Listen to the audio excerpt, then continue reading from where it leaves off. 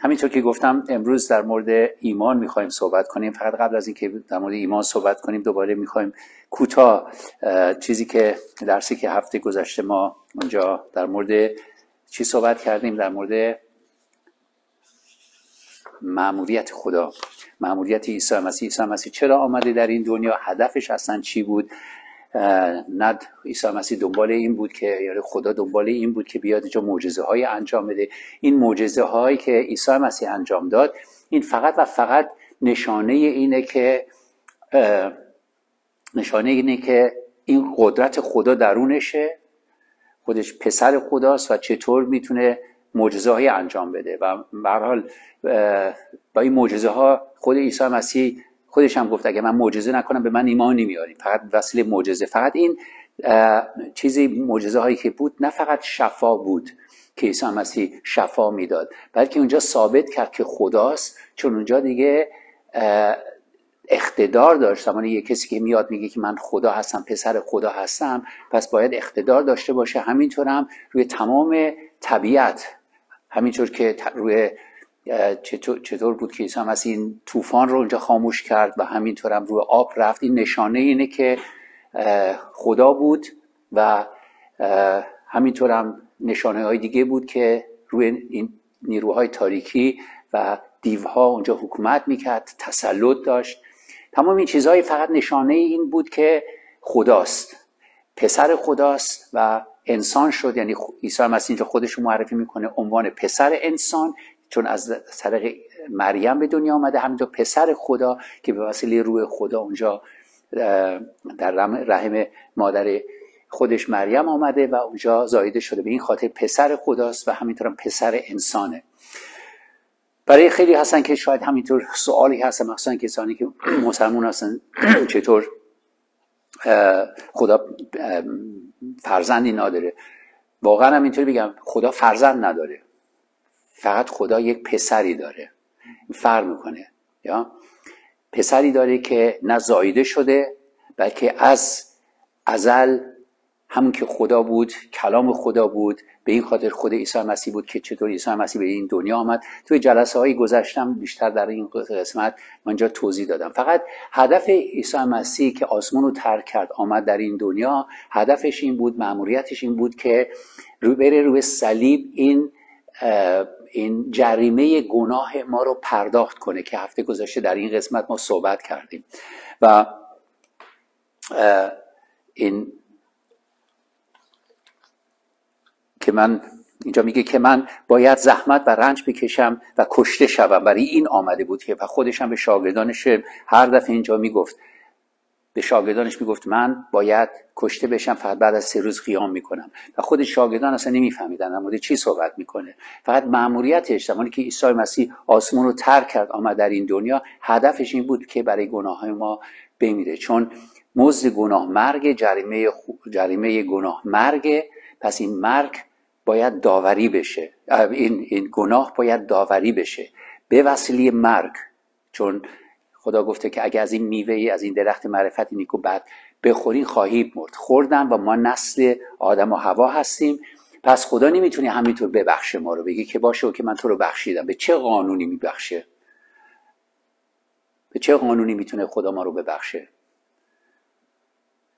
قانون همه مثال میگم برای کارهای خوب انجام بدیم و متوجه شدیم کار خوب نمی‌تونیم انجام بدیم که چون ماهیت ما ذات ما چی خودمحوریه. ما از خدا جدا شدیم به وسیله گناه آدم و هوا و ما نسل این آدم و هوا هستیم. به این خاطر به حال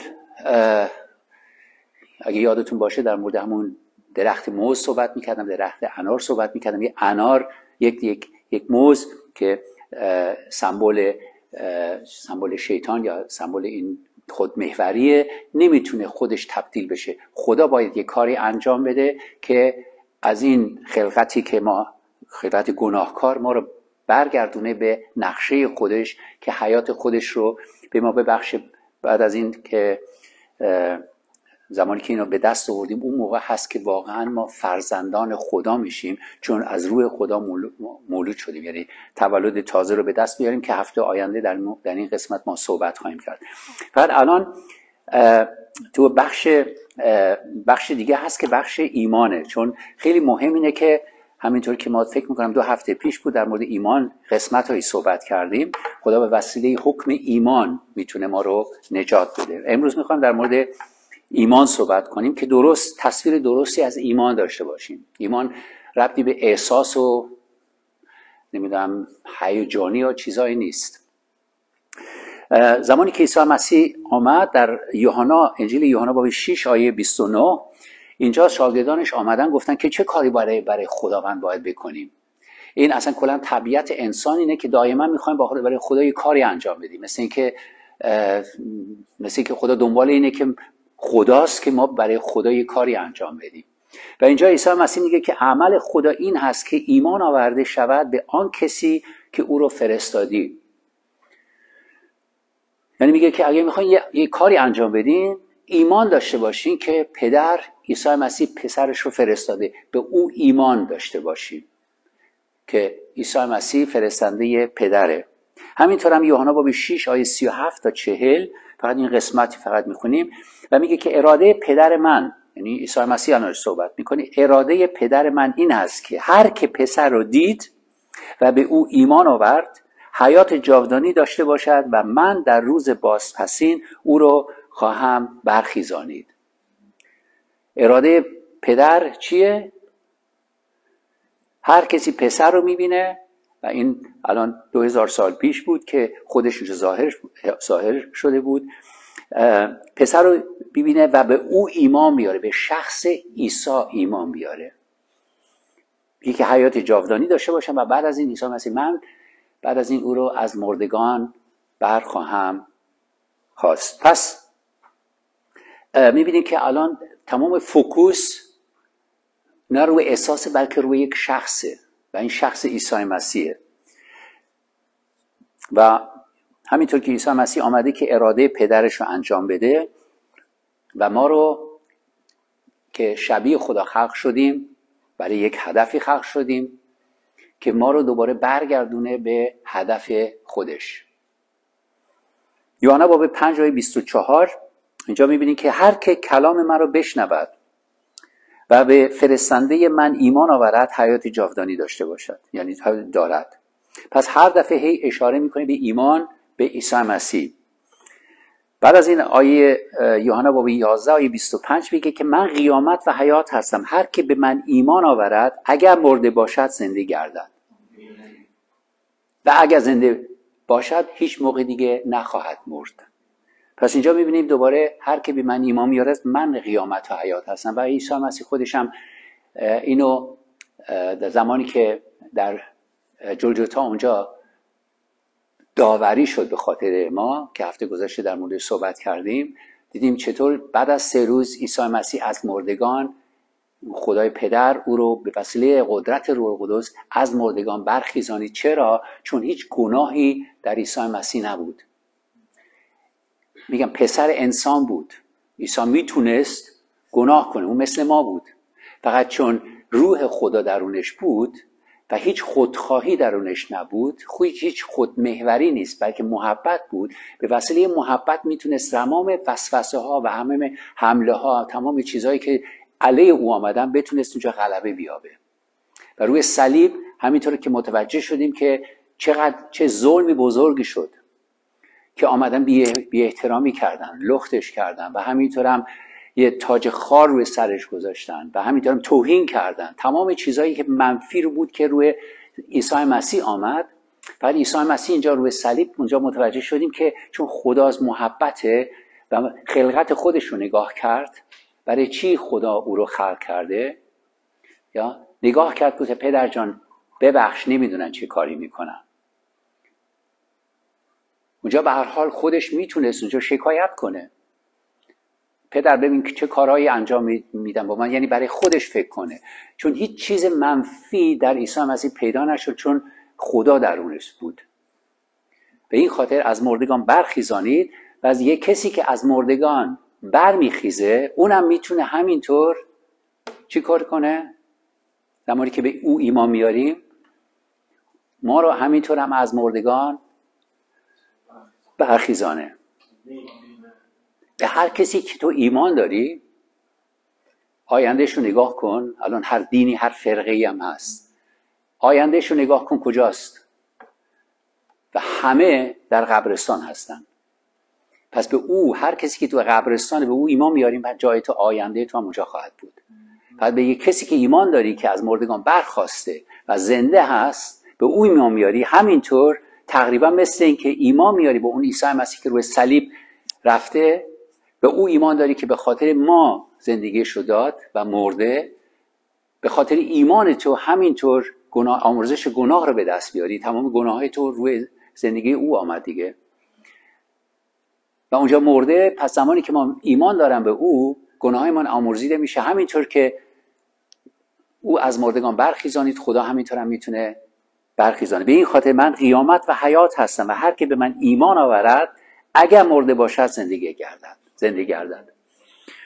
و همینطور هم در یوحنا باب 12 46 هی دائما در مورد ایمان صحبت می‌کنه ایمان صحبت می‌کنه و ایمان نه اینطوری احساسی یا خدا وجود داره خدا منو دوست داره این شخصیت خدا باید اونجا مشخص بشه به وسیله اعمال. خیلی هستن که میگن که خدا محبت خوب دین های مختلف شاید مثلا هستن که یه تصویری از خدا دارن. فقط تنها عیسی مسیحه که واقعا با اعمال اعمال خودش با سرسپردگی خودش نشون داد چقدر خدا ما رو دوست داره. و مخصوصا که میگه که هر چقدر میگه که پدر اونقدر ما رو دوست داشت که یگانه پسرش رو داد که به وسیله او به وسیله ایمان به او ما نجات پیدا, پیدا کنیم و داوری نشیم. دیگه زیرا خدا جهان را جهان را یعنی اسمای ما رو می‌تونیم اینجا بنویسیم. زیرا خدا جهان را آنقدر محبت نمود که پسر یگانه خود را داد تا هر که به او ایمان آورد هلاک نگردد بلکه حیات جاودانی یابد. زیرا خدا پسر خود را در جهان نفرستاد تا بر جهان داوری کند. بلکه تا به وسیله او جهان نجات یابد. آنکه به او ایمان آورد بر او حکم نشود. چرا؟ چون عیسی مسیح به جای ما حکم شد آوری شد. آنکه به او ایمان آورد بر او حکم نشود اما هر که ایمان نیاورد الان بر او حکم شده است به جهت آنکه به اسم پسر یگانه خدا ایمان نیاورده است. پس هفته گذشته ما چه چیزی دیدیم که عیسی مسیح روی صلیب اونجا فقط کشته نشد میخوب نشد بلکه روی صلیب داوری شد. داوری ما روی او آمد. لعنت لعنتی که باید روی ما می آمد روی او آمد. حالا فقط هفته گذاشتم این بیشتر توضیح دادم. مثل که خدا نه مثل که بلکه خدا خدای پدر پسرش رو قربانی کرد یعنی خدا رو او رو داوری کرد. که به وسیله این داوری کردن او ما بتونیم بخشش گناه رو به دست بیاریم. حکم نشویم. پس عزیزان زمانی که خدا می‌خواد ما رو ببخشه به وسیله یک حکمی باید ببخشه. یک قانونی هست طبق این قانون باید ما رو ببخشه. حالا ما توی دنیا هم همینطور قانونهای قانونهای خودمون داریم یعنی قانونهای کشور هست. طبق این قانون ها ما اینجا داوری میشیم. به این خاطر وکیلایی هستن که میرن اینجا می‌خونن تمام این تمام این پاراگراف هایی می‌خونن ببینن که چه چیزی هست چطور می‌تونه این این داور این این این وکیل ما رو چی کنه؟ تبرقه یا تبرقه کنه. به وسیله حکمی یا قانونایی که اونجا نوشته شده. پس خدا خدای ما خدای قدوسیه. و خدا باید زمانی که می‌خواد یک کسی رو ببخشه طبق یک قانون میبخشه. الان من جرم شدم و میرم توی زندان. و اونجا جرم من برای اونجا هست که مثلا ده سال اونجا باید بمونم. اون طبق این قانونه که اونجا من برای اونجا باید بمونم. سو الان اگه بگم یه کسی دیگه بیاد طبق قانون بگه که باشه اوکی من جرم الان آلبرت رو می‌خوام وردارم. من می‌خوام مثال میگم الان 100 هزار اورو پول میدم. طبق این قانون 100 هزار اورو پول میدم این می‌تونم این داوری او رو داوری منو مثل که هر چیز کنه حذف کنه که منو بیرون بیاره. طبق این حکم الان من می‌تونم از زندون بیرون, بیرون بیان حکمایی هستن که زمانی یه آدم رو کشتم اونجا میگه که نه تا آخر عمرم باید اونجا بمونم. دیگه هیچ چیزی وجود نداره. قانون اینو میگه. و زمانی که خدا میگه که مزد گناه مرگه این مرگ این این, این, این گناه باید داوری بشه و داوریش مرگه. پس طبق مرگ یک کسی دیگه که هفته گذشته صحبت کردیم جانشینی خدا می‌تونه گناه منو ببخشه. به این خاطر یک کسی که ایمان میاره به عیسی مسیح و همینطور که اینجا میگه هر کسی که به من ایمان بیاورد حیات جاودانی بهشون میبخشه. یعنی, یعنی هر کسی ایمان بیارد دیگه حکم نخواهد شد یا من قیامت و حیات هستم.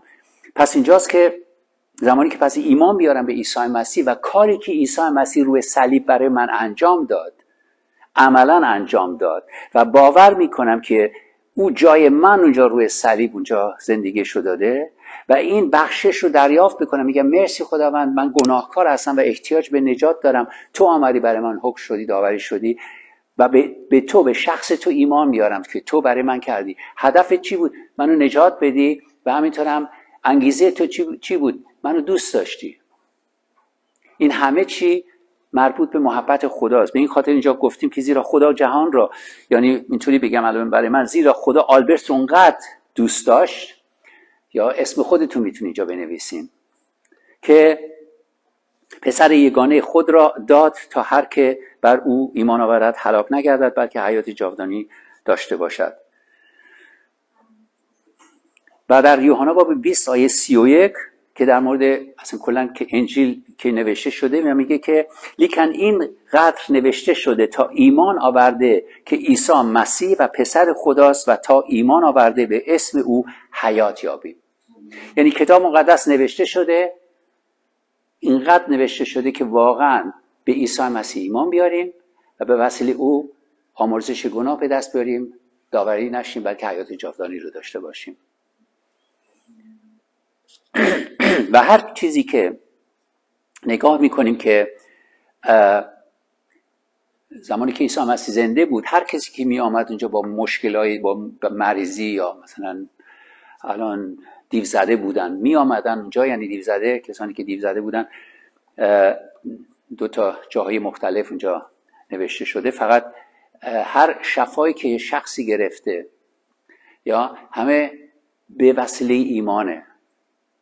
یعنی کسی که کور بود آمد میگه که عیسی مسیح رحم کن به من ای پسر داوود. و بعد از این عیسی مسیح می‌پرسه میگه که چی می‌خوای؟ میگه که من می‌خوام بینا بشم. و بعد از این عیسی مسیح میگه ایمانت تو رو شفا داد. ایمان چی؟ ایمان که یا خدا وجود داره؟ نه. ایمان که عیسی تو پسر خدا هستی تو می‌تونی چشمای منو باز کنی که بتونم بینا بشم. به این میگن ایمان. به شخص عیسی تو می‌تونی منو شفا بدی. و این خود عیسی مسیح گفته ایمانت نه احساست. نه اینطوری که فکر می‌کنی آها شاید بشه و امتحان کنم ببینم میشه یا نمیشه. بلکه ایمان یه چیزی ثابتی هست. یه چیزی زنده هست که یک چیزی هست که نگاه می‌کنی می‌تونی دست بزنی. و ایمان تو رو شفا داد. همینطور هم یک زنی بود که خونریزی داشت دوازده سال خونریزی داشت. می‌دونیم که خودش فقط اینطوری گفت من فقط اینطوری تو عتی عتیق اونجا چیزایی نوشته شده بود در مورد ردای عیسی مسیح. اونجا گفته که این زن دوازده سال تمام پولاشو خرج کرده بود. همه چی رو خرج کرده بود فقط دکترای رفته بود فقط هیچ چیزی به دردی به هیچ نتیجه نرسیده بود. بعد از این گفته که بود فقط زمانی که برم ردای عیسی مسیح رو لمس کنم از اونجا شفا جاری خواهد شد. الان حتی نه فقط به عیسی مسیح لمس کنم یا ردای او رو لمس کنم. اینم یه داستانی داره توی چیز ملاکی اونجا نوشته بود در مورد ردا که از اونجا شفا جاری خواهد شد. و و این زنی هم که خونریزی داشت برای چطور رفت؟ بعد گفته من فقط باید ردای عیسی مسیح رو لمس کنم. زمانی که لمسش کرد این قدرت شفا بخش قرار گرفت و این زن از این خونریزی برال شفا پیدا کرد. بعد از این عیسی مسیح جالبش اینه که اینا بتونید بخونید عیسی مسیح میگه که کی منو لمس کرد؟ الان فکر کنید الان تقریبا یه 50 نفر دور برشون هستن همه به عیسی مسیح همینطور یا می‌خورن و گفتن که شاگردانش گفته که همه ما کنار تو هستیم و الان چی میگی که ایمانو دست زد؟ و گفته نه یه کسی بود که اینجا با ایمان منو دست زد. و بعد از این این زن آمد اینجا جلوش افتاد زانو زد و عیسی مسیح اینجا بهش گفته که ای زن ای دختر ایمان تو رو شفا داد. پس اینجا می‌بینیم که همه چیز مربوط به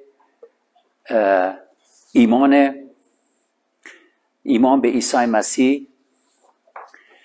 یعنی ایمان یک شخصی هست. احساس نیست. و این شخص عیسی مسیح. زمانی که ما میگیم که باور می‌کنیم به عیسی مسیح؟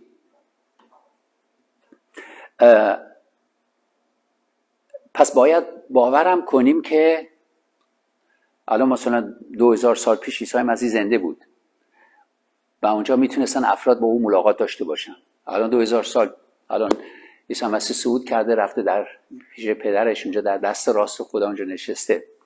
بعد الان زمانی که در مورد عیسی مسیح صحبت می‌کنیم چون ما می‌دونیم که باور می‌کنیم که نوشته شده از ابتدا کلمه بود کلمه نزد خدا بود کلمه خود خدا بود. کلمه انسان شد میان ما ظاهر شد پر از فیض و راستی. جلال او رو دیدیم جلال شایسته پسر یگانه پدر. و این کلام پس انسان شد. و زمانی که کتاب مقدس رو نگاه می‌کنیم همینطور که گفتم این کتاب مقدس کلام خداست. زمانی که من میگم که باور می‌کنم به عیسی مسیح پس باور می‌کنم به کلام خدا. چون این کلام رو ورداری روح بدمی روح خدا رو بدمی عیسی مسیح میاد شکل می‌گیره. متوجه شدین؟ کلام خدا عیسی مسیحه. از ابتدا کلمه بود کلمه نزد خدا بود کلمه خود خدا بود. کلمه در, کلام در کلمه حیات بود و این نور انسان بود و کلمه انسان شد. وسیله روح القدس. پس این تمام چیزهایی که اینجا نوشته زمانی که من میگم که باور باید بکنی به عیسی مسیح یعنی باور می‌کنی به کلامی که نوشته شده. چون چیزایی که اینجا گفته شده کی گفته؟ من گفتم؟ یه مردی گفته یه نویسنده گفته. نه این چیزهایی هست که خدا گفته و نوشته شده. اوکی؟ کی گفته؟ خدا گفته. الان عیسی مسیح زمانی که میگه که من قیامت و حیات هستم. هر کسی به من ایمان میاره حیات جاودانی رو خواهد داشت و دیگه نخواهد مرد. پس این, این نوشته شده الان. زمانی که پس نگاه می‌کنم تقریبا مثل این که الان عیسی مسیح اینجا بیسته و به شما بگه که من قیامت و حیات هستم. هر کسی به من ایمان میاره دیگه نخواهد مرد بلکه حیات جاودانی بهش میدم. و زمانی که یه چیزی رو می‌خونیم ربطی به احساس نیست. الان نباید احساس کنم که آیا یه چیزی باید در من به وجود بیاد که باور کنم بلکه کلام خداست که اینجا فقط به وسیله قلب تو می‌تونی باور کنی که میگه حقیقت درسته. اینو باور می‌کنم. زمانی که اینو باور می‌کنی اون موقع هست که خدا مثل یه دری باز می‌کنی که اینجا خدا شروع می‌کنه عمل کردم خیلی ها هستن که میگن که من به عیسی مسیح ایمان دارم. فقط کلام خدا رو باور نمی‌کنن درست.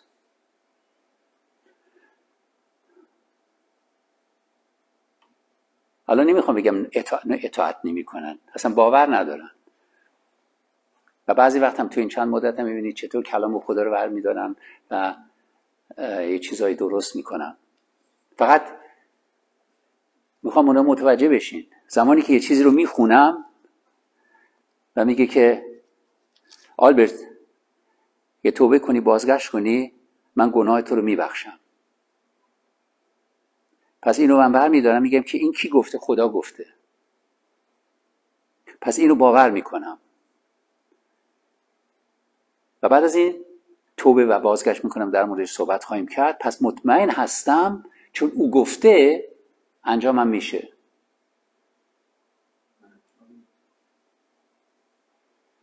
و زمانی که آمرزش گناه رو به دست میاریم اینم ربطی به احساس نیست. الان در موردش صحبت می‌کنیم می‌خوام الان برم تو این بخش بعدی. فقط مهم اینه که متوجه بشیم ایمان یعنی ایمان یک شخصی است و این شخص عیسی مسیحه. خدا میگه که باور کنین یا اونجا این قسمتی که ما خوندیم که اراده پدر من این است که هر که پسر رو دید و به او ایمان آورد حیات جاودانی داشته باشد و من در روز بازپزین او رو خواهم برخیزانید. اراده پدر من این است که هر کسی منو ببینه. الان ما اینجا که هستیم در مورد عیسی مسیح صحبت می‌کنیم. در مورد شخص عیسی مسیح صحبت می‌کنیم. و زمانی که میگم که خدا میگه که باور کن که من پسر خودم رو فرستادم نه بچه من فرزند پسر یگانه من.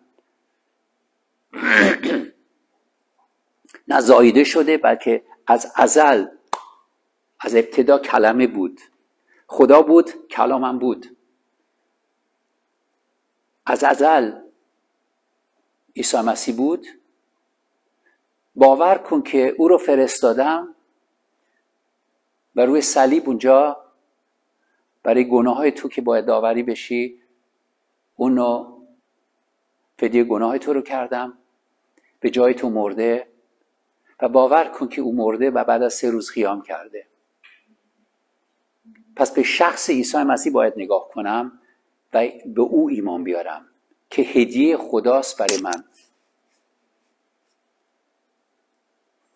میگم که چیزی هست چیزی نیست که ما احساس داشته باشیم زمانی که می‌خونیم و باور می‌کنیم که اینم قسمتی هست که روح خداست که اونجا ما رو کمک می‌کنه و مکاشفه ها رو میده و روح خدا به هر کسی که واقعا تشنه هست و دنبال حقیقت هست همینطور جلسه ما میگیم که جلسه حقجویانه یعنی کسانی که واقعا حقجوی هستن.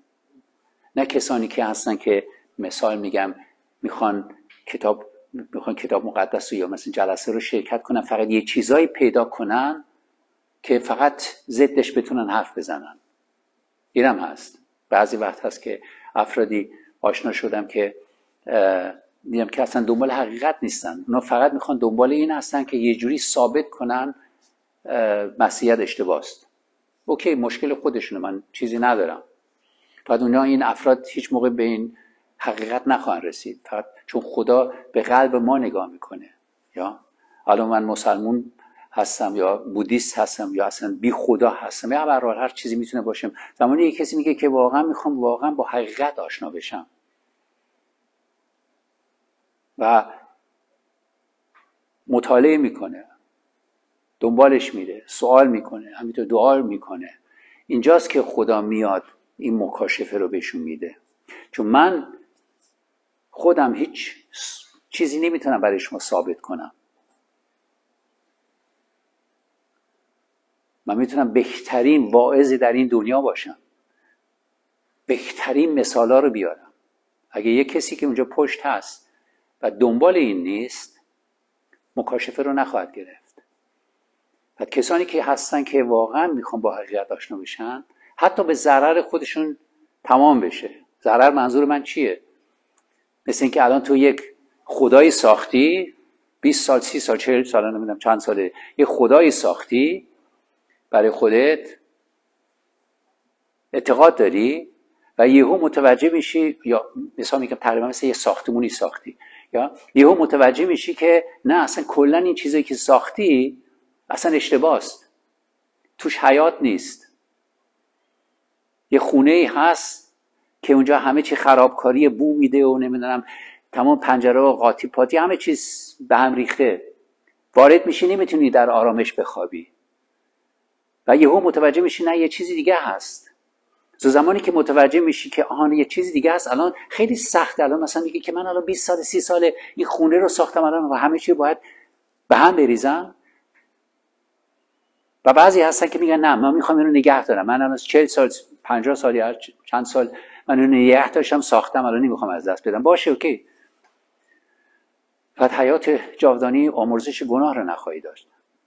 فقط زمانی که میگه که این چیزها رو ساختم اشتباه بود. جامعه توی جامعه که بزرگ شدم یا توی خانواده بزرگ شدم من این تعلیم دادن یا این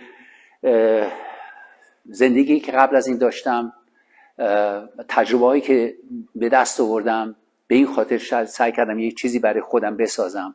بعد یهو متوجه میشه نه نمیشه اشتباه خب بهتره بگه که بهتره همه چی رو بگذارم یه چیزی ثابتی بگذارم درست کنم یا درست کرده بشه که واقعا حقیقت داره. ابدیته. اینجاست که مربوط به قلب های ماست که چقدر واقعا ما در این قسمت آماده هستیم با حقیقت روبرو بشیم یا عیسی مسیح روبرو بشیم. و حتی میگم که بیشترین بحث که با مسلمان دارم اینه که, که خودتونم مسلمان بودین دیگه که خدا پسر نداره. یا که چون ما بعضی وقتی اینطوری فکر می‌کنیم خدا پسر نداره مثل که ما الان همه چی رو ما انسانی می‌کنیم. مثلا میگیم که مثل که خدا اونجا یک زنی داره با او خوابیده یک بچه‌ای داره. پسرش. خب مسلم اینطوری نیست. اون خداست. در این دنیا هر چیزی که ما می‌بینیم همینطور از آدم و هوا ما متوجه شدیم. زمانی که خدا آدم رو خلق کرد گفته که آدم رو به صورت ما خلق کنیم. نر و ماده خدا نر و ماده هست خلق کنیم. و بعد از این آدم رو برداشت و اینجا دیدیم بعد از این گفته خوب نیست که آدم تنها باشه از آدم هوا رو ساخت. بعد از این هوا رو ساخت بعد از این گفته که زو الان هر دوتا باید یک بشن. که اینجا متوجه شدیم که سمبولایی هست آدم رول سمبل خداست و هوا سمبل انسانی یعنی چیزی باید از خدا ساخته بشه که بتونه با خدا اونجا ما اتحاد رو یک دلی رو با خدا پیدا کنیم. و خدا نر و ماده هست. خدا اونجا زنی نداره که زایده. این پسر خدا خود کلام خداست. و خدا ما رو شبیه خودش خلق کرده. و ما الان مردا که زمانی که با یک زن ازدواج می‌کنیم بچه دار میشیم این همه چیز سمبول هایی هست. چطور بچه دار میشیم؟ خدا ما رو اینطوری خلق کرده که سپرمیایی که در, در مرداست که اونجا وارد میشه. خدا یک رحمی ساخته که اونجا به وسیله این رحم این سپر میاد و این بچه زایده میشه. حیات به وجود میاد. دو تا مرد و زن رو با هم جمع میشن. نتیجهش حیاته. این تمام سمبولایی است که خدا به ما بخشیده که واقعا با فکر خدا آشنا بشیم. به این خاطر خدا زمانی که با انسان یک میشه و هدف خدا اینه زمانی که یک میشه برای ما حیاته. یه کسی که نجات پیدا می‌کنه آمرزش گناه رو به دست میاره این مانع بین من و خدا برداشته میشه. اون موقع هست که با روح خدا یک میشم با خدا یک میشم. این برای من حیات شادیه. به اون هدف رسیدنمون هدف خدا برای منه. به این خاطر خدا در, در آسمون اونجا زنی نداره که اونجا چیز کرده. چی میگن؟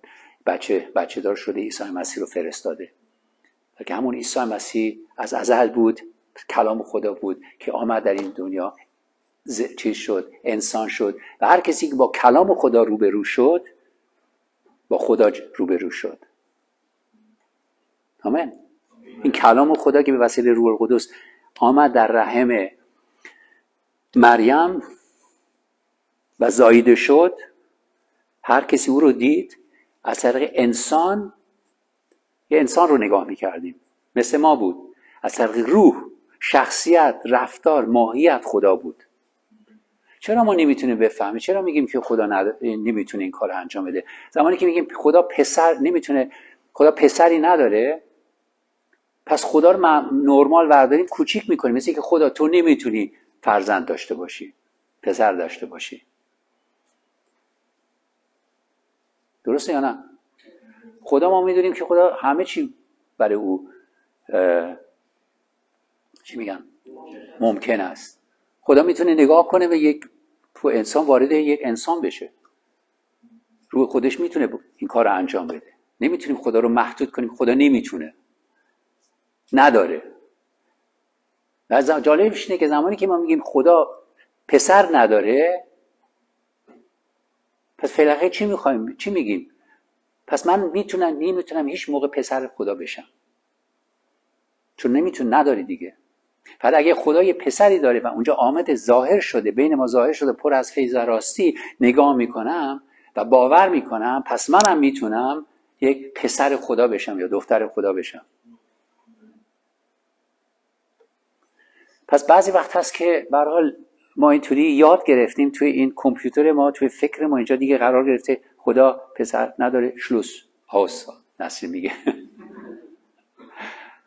دیگه نداره. دیگه هیچ امکانی هم به خدا نمیدی به تو ثابت کنه. چون دیگه در رو بستی دیگه. درسته یا نه؟ در که بستی با خدا به زور نمیاد که در تو بشکنه. فقط خدا هدایت می‌کنه توی مشکلایی میفتی توی خطایی میفته دعا می‌کنی هیچ صدایی نیست همه کاران عبد نمیگه ای خدا کجا هستی؟ بعد از این خدا میاد میگه که ببین من هستم. به وسیله عیسی مسیح می‌تونه منو پیدا کنه. این چیزی که در زندگی ما اتفاق اتفاق افتاد که واقعا به, به یه جای رسیده بودم که خودکشی رسیده بودم که اونجا خدا معجزه آسار آمد و نجات داد. پس نمی‌دونستم عیسی مسیح منو نجات داد. فقط می‌دونستم زندگی من عوض شده. و بعد از اینکه سوال کردم خدا کجا هستی و بیا خودتون نشون بده. بعد از این خدا واقعا با صدای خودش گفته من خدای نجات دهنده هستم. به وسیله عیسی مسیح می‌تونیم برام پیدا کنه هر چقدر من ارمنی زاده بودم من اطلاعی از عیسی مسیح نداشتم و دنبال خدا هم اینطوری هم نبودم. فقط دنبال یه چیزی بودم دنبال یک حیاتی بودم عزیزان که ارزش داره زندگی بکنم. فقط زمانی که من خودم می‌تونم بگم موفق بودم پولدارم بودم همه چی به دست آورده بودم و مقامم داشتم همه چی رو داشتم. فقط از خودم بدم می آمد رفتاری که داشتم دوست نداشتم. هی بخواستم عوض بکنم خودم رو عوض کنم می‌بینم نه. این حسادت هایی چیز از بعضی وقت مثلا خشمایی بود و غرور یا چیزهایی بود که دوست نداشتم من اینطوری باشم. این هم باعث شده بود که تو مواد مقدر افتاده بودم و اصلا کلا گم شده بود واقعا دیو زده شده بودم که به این دیوها منو هدایت کردن به خودکشی. و جالبش اینه که در اون قسمت که واقعا دیگه به مواد زیادی کشیده بودم که به خودکشی رسیده بودم واقعا دیگه یه صدای اونجا آمد و گفته که آلبرت می‌خوای بمیری یا می‌خوای زنده می‌خوای زندگی کنی زیست کنی؟ واقعا دیگه نمی‌خواستم دیگه زندگی کنم.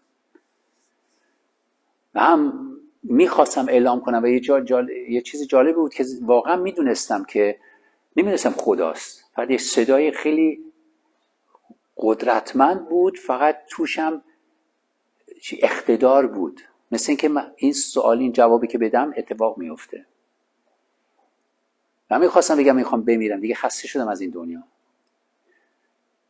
بعد اونجا گفتم که فقط داد کشیدم و گفتم اگه یه حیاتی وجود داره که ارزش داره زندگی بکنم من می‌خوام زندگی کنم. و اینو گفتم از یک ثانیه به یک ثانیه مثل اینکه یه آبی از اونجا بالا آمد همه چیز جوری شست رفت و اصلا یه چیز دیگه یه آرامشی گرفتم یه صلح یه شادی در من آمد نمی‌دونم از کجاست. و بلا فاصله دومین چیزی که من انجام دادم تمام گناه ها جلو چشم من آمد و شروع کردم به اعتراف کردن. نمی‌دونستم الان گناهه. الان مثلا الان اینجا درس هایی که می‌خونی من توبه می‌کنم. فقط تمام خلاف های اشتباهات من چیزایی که بود موقع با یه دوست دختری زندگی می‌کردم. این دوست دختر رو چیز کردم گفتم بیا اینجا من می‌خوام یه چیزی به تو بدم و شروع کردم به اعتراف کردم. گفتم من این هستم من این دروغگو هستم من این کارو کردم و خیانتت کردم اینو کردم. یعنی واقعا این زن که آخر زن من شد واقعا فکر کردم که من دیوونه شدم. واقعا هم دیوونه شده بودم این حالی که قبل از این داشتم. یا این فقط زمانی که همه چی رو گفتم گفتم اگه تو می‌تونی پیش من بمونی تو می‌تونی بری. فقط من می‌خوام به تو بگم من این هستم. یعنی واقعا مثل یک کتاب در قلب من رو باز کردم گفتم اینم. چون یه چیزی دریافت کرده بودم عزیزا. یه محب... محبت نمی‌دونم بگم. یه یک آرامشی یک آزادی به دست آوردم که تو عمرم نداشتم. فقط نمی‌دونستم می‌دونستم اتفاقی افتاده فقط نمی‌دونستم چه اتفاقی افتاده. اینجا نگفته که من مسیح هستم ایمان بیار به مسیح. من فقط دنبال یه چیزی بودم. گفتم اگر یک حیاتی وجود داره که ارزش داره زندگی بکنم من خسته شدم از این دنیا. پولدار بودم دو تا ماشین داشتم. بهترین جای هامبورگ هم زندگی می‌کردم. با دوست دخترم یک اتاق یک خونه 160 متری داشتم. شیش و نیم اتاق داشتم. مثلا نمی‌دونم چرا شیش و نیم اتاق باید یک مردی برداره با یک, یک نفر بچه دار بودم با هم ازدواجم نکرده بودیم. بهترین جای هامبورگ بود. گل فروشی داشتم. هر ماه تقریبا 15 هزار اون موقع 15 هزار مارک بود. من 15 هزار یورو درآمد داشتم. فقط چه فایدی داره؟ زمانی که به خودم نگاه می‌کردم بدم میآمد. رفتارهایی داشتم دوست نداشتم. این باعث شد که شروع کنم به مواد نه نه. شروع کردم مطالعه کردم کتاب میخریدم کتاب های دیگه میخریدم کتاب های مثلا در مورد روح در مورد آینده در مورد چیزهای صبح میخریدم که رای پیدا کنم. جستجو بودم جستجو حیات بودم فقط نمی‌دونستم کیه. و زمانی که این کتاب ها رو خوندم و آخرش هم متوجه شدم کتاب های شیطانی بودن. روح ها روح های تاریکی اینطوری چیزهای بودن. پس چون جستجو کردم و دنبال واقعا حیاتی بودم که ارزش داره.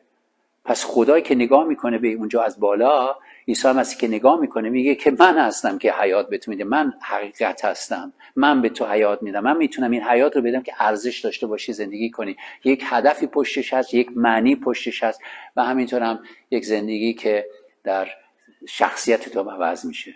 به این خاطر خودش رو به من نشون داد. جایی که نه کلیسا بود نه شبان بود نه نمی‌دونم کلام خدا بود کلام خدا هیچ موقع نخونده بودم. پس می‌بینی خدا نگاه می‌کنه به قلب قلبای ما. الان مسلمون هستی بودیست هستی هندویست هستی این هستی اون هزار تا فرقه هستن. خدا نگاه می‌کنه میگه آیا واقعا دنبال حیات هستی؟ دنبال حیاتی که من به تو میبخشم؟ دنبال حقیقت هستی یا نه؟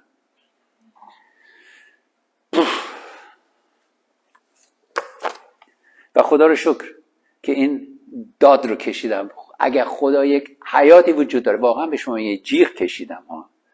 نه جیغی که با دهنم کش بکشم. جیغی که نفس اون آلبرتی که اونجا توی چاه افتاده بود. اون یعنی من خودم صدای خودم رو شنیدم به حضور خودم من میگه من صدای خودم رو در بطن نفس من شنیدم. که مثل اینکه میگی که اگر یک حیاتی وجود داره که ارزش داره من می‌خوام زیست کنم. اینطوری داد زدم. که واقعا به یه پایان رسیده بودم. و بلافاصله خدا جواب داد. اصلا نمی‌دونستم مسیح کیه خدا کیه. خدا هم خدا باورم. فقط من خدا رو اون موقع باور می‌کردم که یه قدرتی بالاست. پس از این شهادت می‌تونیم متوجه بشین خدا قلب شما رو می‌بینه و می‌دونه چه چیزی کجا قرار گرفتین چه چیزی نیاز دارین.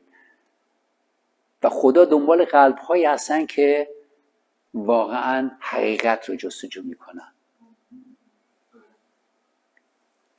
حتی به ضرر خودش تمام بشه بگه که چیزی ساختم الان این تصویری که از خدا داشت ساختم آقا چه فایده داره؟ یه تصویری از خدا ساختی که اصلا وجود نداره. پس یه حباب شده.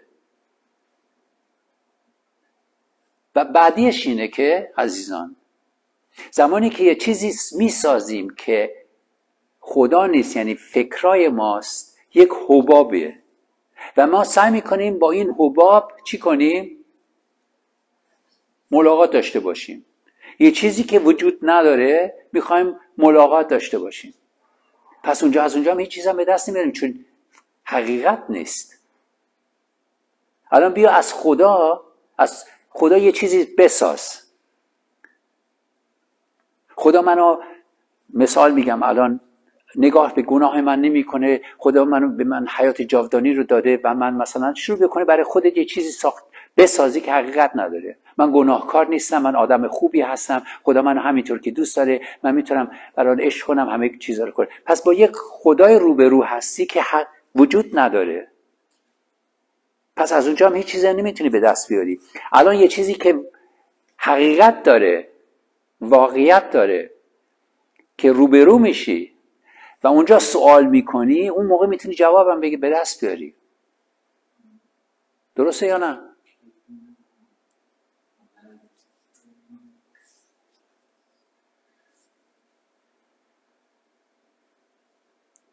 برحال این چیزهایی هست که هر شخص برای باید برای خودش متوجه بشه. به این خاطر عیسی مسیح اینجا میسته میگه که هر کسی به من ایمان داره هر کسی منو می‌بینه رفتار من شخصیت منو می‌بینه می‌تونه با خدا آشنا بشه. چون من نه پیامبر او هستم بلکه نماینده حیات او هستم در این دنیا. و این زنی که آوردن که زنا کرده و باید اینجا سنگسار بشه طبق قانون یهودی باید سنگسار می‌شد. و عیسی مسیح اینجا پیامبر نبود که بگه که باشه که سعی کنیم ببینیم که دعا بکنیم بگه خدا چی میگه. بلکه خودش اونجا چون خداست میگه که زن کسی که تو رو محکوم کرده اول میگه که هر کسی بی گناهه سنگ اول رو بندازه.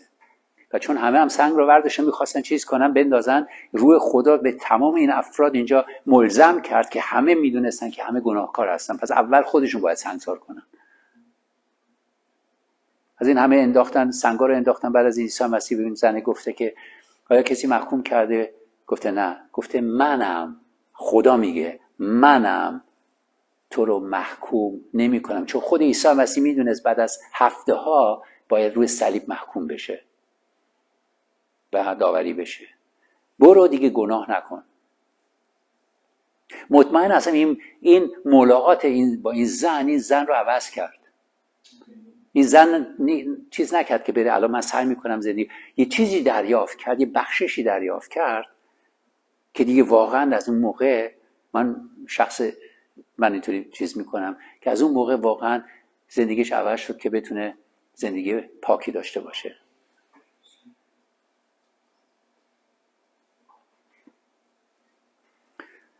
پس زمانی که ما, ما باور می‌کنیم به عیسی مسیح یعنی باید باور کنیم و اعتماد به او داشته باشیم به این کلامی که خداوند اونجا نوشته زمانی که ما می‌خونیم و همینطورم مثلا من اینجا موعظه می‌کنم و همینطورم توی دنیای مجازی خیلی چیزهایی هستن کانالهایی هستن کلیساهایی هستن که اونجا همه موعظه می‌کنن در مورد عیسی مسیح.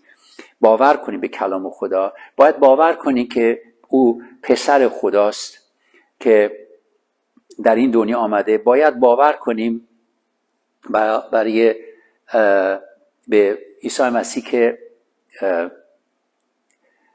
برای گناه های من آمده. باید باور کنیم که خدا منو دوست داره. من با ارزش هستم. من خدا منو شبیه خودش خلق کرده. باید باور کنم که عیسی مسیح چون بیگناه بود او واقعا کشته شد که نه اینطوری که مسلمان میگن که الان عیسی مسیح چون بیگناه بود خدا او رو برداشته یه کسی دیگه رو برده کشته. الان فقط نگاه کنین. الان فقط این چیز رو خودتون فکر کنین. آیا چه فایده داره؟ از آن خدا پسر خودش رو میفرسته در این دنیا و عیسی مسیح همه کار رو انجام میده معجزه رو انجام میده و آخرین چیزی که مهمترین چیزی است که برای برای گناه های ما باید الان داوری بشه که بخشش رو بیاریم خدا او رو ور میداره یه کسی دیگه رو می‌ذاره اونجا او رو می‌کشه. خب به چه دردی می‌خوره آمدن عیسی مسیح؟ پس می‌تونیم بگیم که یه فلسفه میشه یه کتابی میشه میگه آها یادت دو هزار سال پیش یه کسی آمد معجزه رو کرد این کارو کرد اون کارو کرد یه پیغمبری بود. چه فایده داره؟ الان این شخص عیسی مسیح تک تأثیری روی زندگی من داره؟ اون فقط یه داستانی میمونه. که مسیح آمدن یک مذهبی درست کردن. مثل الان مثلا پادشاه کوروش. یه مردی بود پادشاه بود. چه تأثیری عالی گذاشت روی کشور ایران.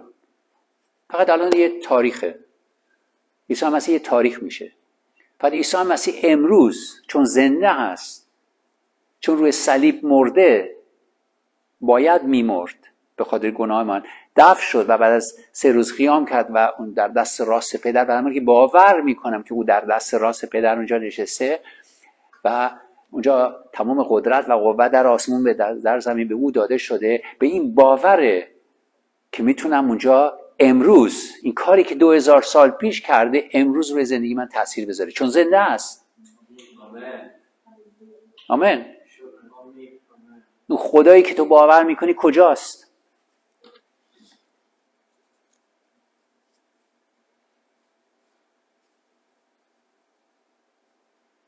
بعضی هستن که میگن که الان یک مؤمنی که مرده رفته پیش خدا.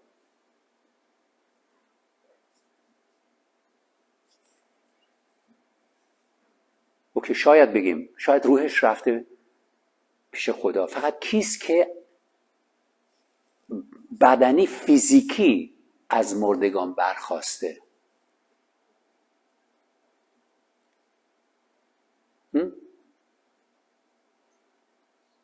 کسی هست؟ تو تاریخ هم ننوشته شده. برای افراد میگن که این الان این یه مؤمنی بود الان نمی‌دونم محمد میگن یا چیزای آیت الله میگن یا مردای روحانی اسلام یا همینطورم نمی‌دونم دین های مختلف هستن میگن که روحش رفته. اوکی روحش رفته. روحای ما همه میرن. روح ما ابدیه. پس کجا رفته؟ اگر بگیم پیش خدا رفته فقط در حال در حال حاضر کسی فیزیکی زنده نشده جز از عیسی. و زمانی که یه کسی که فیزیکی نجات پیدا می‌کنه یا نه نجات پیدا فیزیکی برمیخیزه از چیز؟ از مردگان. پس می‌تونه منو همینطور فیزیکی روح نفس و بدن نجات بده. متوجه هستین؟ عیسی مسیح زمانی که برخواست گفته که به شاگردانش بگی دست منو لمس کن. او فیزیکی از مردگان برخواست به توما گفته که بیا دست لمس کن. لمس کن که باور کنی. و ما هم زمانی که ایمان داریم ایمان, ایمان داشته باشیم و آمرزش گناه رو به دست بیاریم تولد تازه رو به دست بیاریم همینطور میگه که اگر حتی مرده باشه زنده خواهد موند. یعنی از طریق روح از طریق فیزیکی از طریق نفس و همینطور هم روح روح بدن ما آنجا زنده خواهیم شد. و خدا ما رو شبیه خودش خلق کرده که روح و نفس و بدن در حضور خداوند بیاد. عیسی مسیح روی تخت در دست راست پدر که نشسته روح ننوشته ننشسته. بلکه خود عیسی مسیح فیزیکی هم اونجا در دست راست پدر نشسته و سلطنت می‌کنه. و من زمانی که پرستش می‌کنم یک روح رو پرستش نمی‌کنم بلکه اون خدای عیسی مسیح که فیزیکی اونجا در دست راست هست و این تاج جلال روی سرشه و عصای اقتدار در دستشه اونجا اینو پرستش می‌کنم که تمام قدرت و قوت در آسمون در زمین به او داده شده. و من می‌تونم بگم که متعلق به او هستم دارم. او منو می‌بینه. و من حیات جاودانی یک روز با او روی تخت خواهم نشست. با او سلطنت خواهم کرد. اینطوری که دعوت ما خل... دعوت ماست یعنی اینطوری که برای این که ما رو خدا خل... چیز کرده خلق کرده. بیایین انسان رو به, به صورت ما موافق شبیه ما خلق کنیم که سلطنت کنن. برای این من و تو خلق شدیم. برای سلطنتی خلق شدیم. نه فقط اینجا نجات پیدا کنیم اینجا زندگی خودمون رو انجام بدیم. آمین. پس باید به این چیزا من باور کنم و به شخص عیسی مسیح که واقعا عیسی مسیح همینطور که هفته گذشته کردم برای این برای گناه های من مرده و زمانی که از, از اونجا همینطور دستش رو چیز کرد گفته پدر ببخش نمی‌دونن چی می‌کنم. می‌دونم زمانی که من توبه می‌کنم بازگشت می‌کنم طبق کلام خدا که بعد از پازه صحبت می‌کنیم گناه منو میبخشه. و باید باور کنم که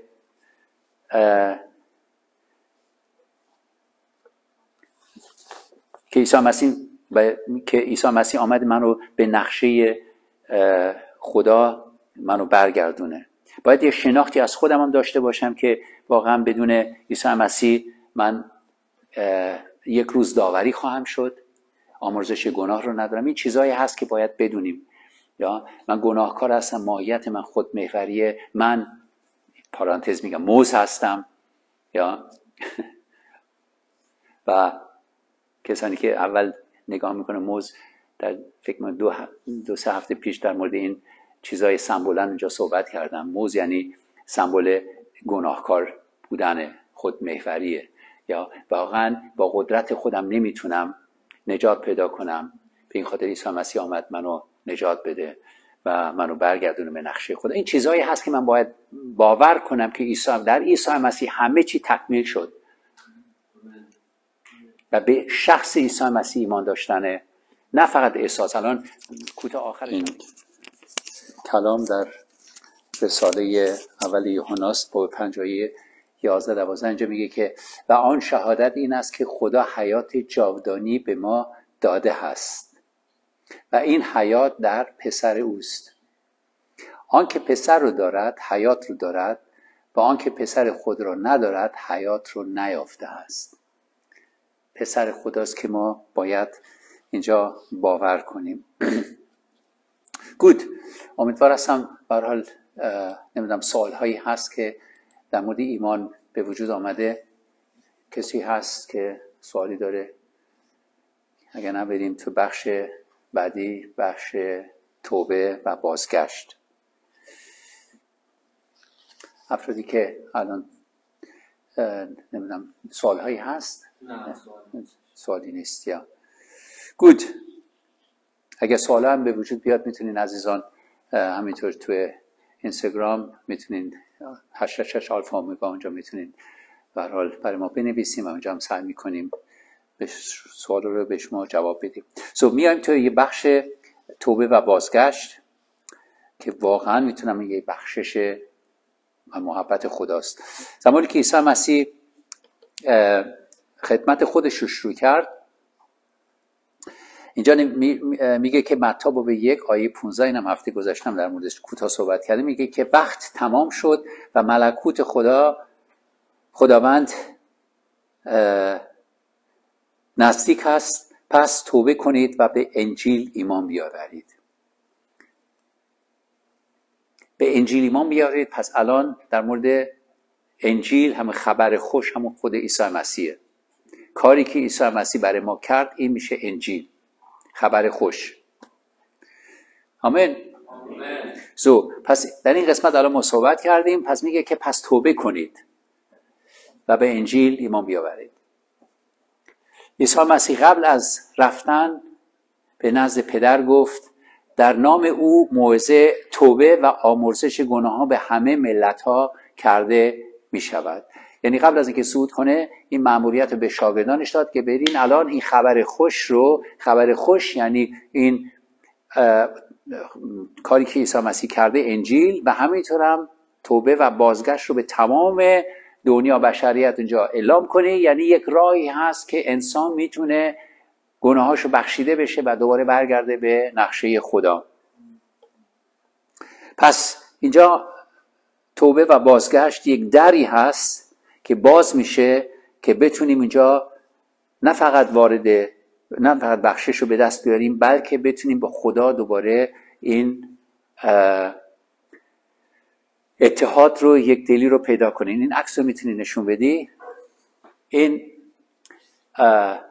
توبه بازگشته. یعنی یه مثل که پله هست که ما می‌تونیم دوباره به نقشه خدا برگردیم. و توبه و بازگشت همینطور که عیسی مسیح که آمد اونجا روی صلیب اونجا مرد یا باید نگاه کنیم که مثل یک هدیه هست که خدا به بشریت بخشیده.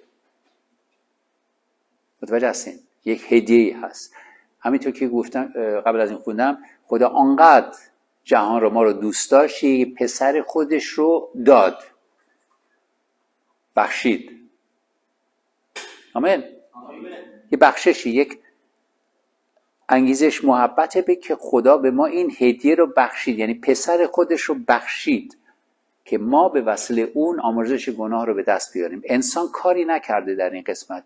هیچ کاری نکردیم. جز از اینکه انسان وردش عیسی مسیح که کلام خداست میخوب کرده. و حتی در این میخوب کردن عیسی مسیح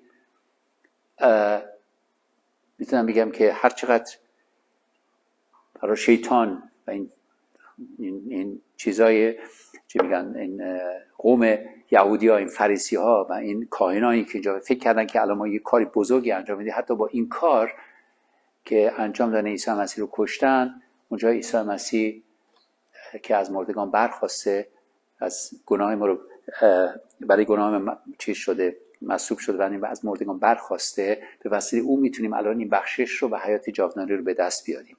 پس توبه و بازگشت یک هدیه است که خداوند میبخشه. زمانی که عیسی مسیح صعود کرد. رفت به شاگردانش گفت گفته که در اورشلیم بمونین و تا با قدرت خدا به وسیله روح القدس این قدرت خدا خواهد آمد روی شما و اونجا شاهدان من خواهید شد.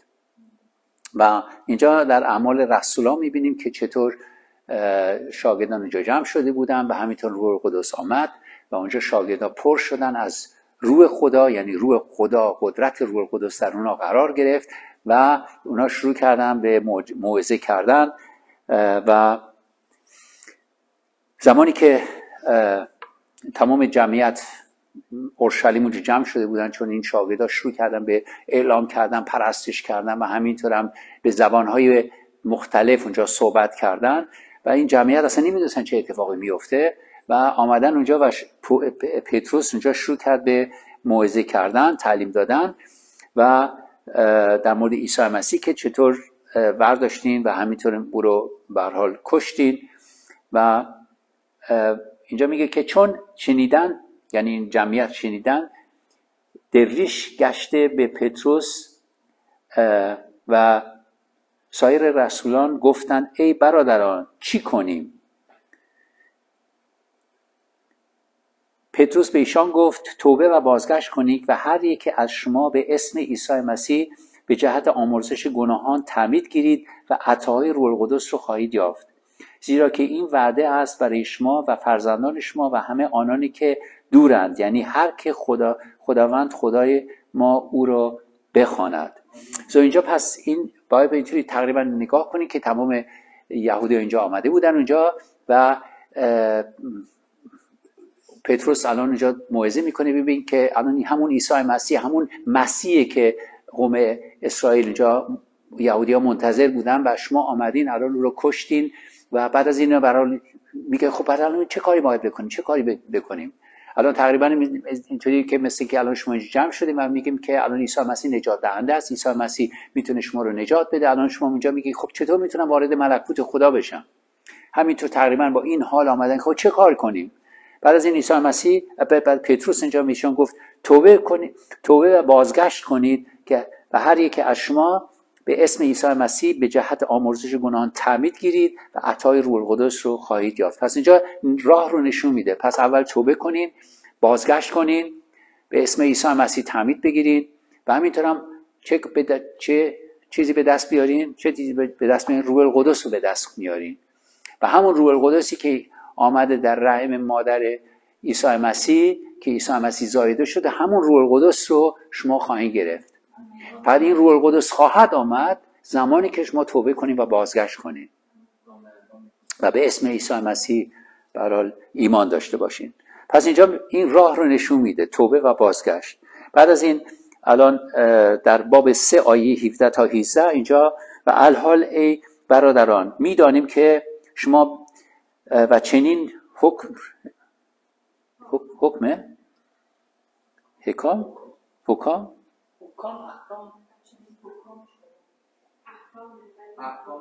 احکام. نه؟ پس اینجا یه چیزی؟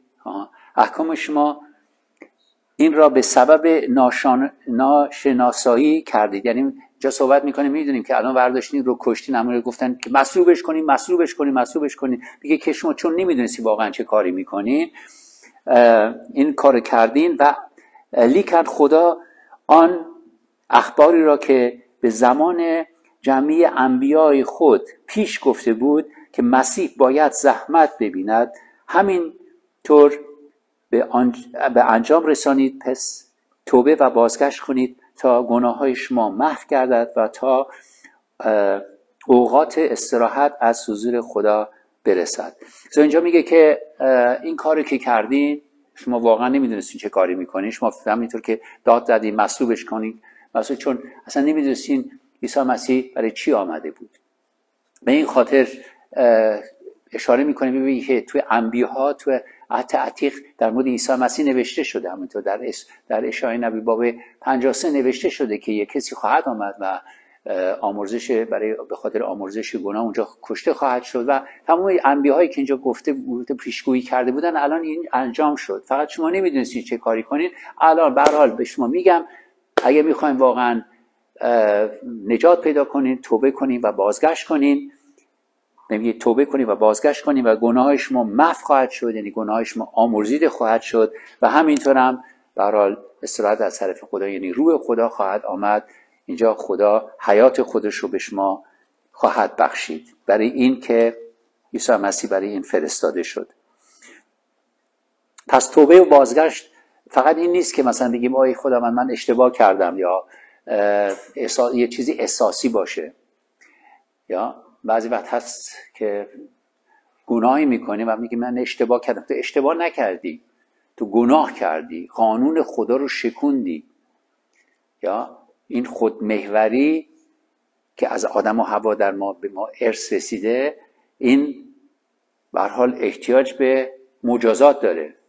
و زمانی که میگم که خدا من می‌خوام توبه کنم باید بدونم که احکام خدا رو شکوندم زندگی که من می‌کنم زندگی که نه طبق کلام خداست حیاتی که در من هست کلا برعکس خداست طبیعتی که من دارم از طبیعت خدا فرق می‌کنه. و اینجاست که این به این شناخت باید برسم برای توبه. من خودمحور هستم من اصلا کلا از جلال خدا دور دور هستم و گناه من باید مجازات بشه. یعنی یک شناختی ما باید داشته باشیم از خودمون و همینطور هم از خدا. از خدا که منو خدا منو دوست داره.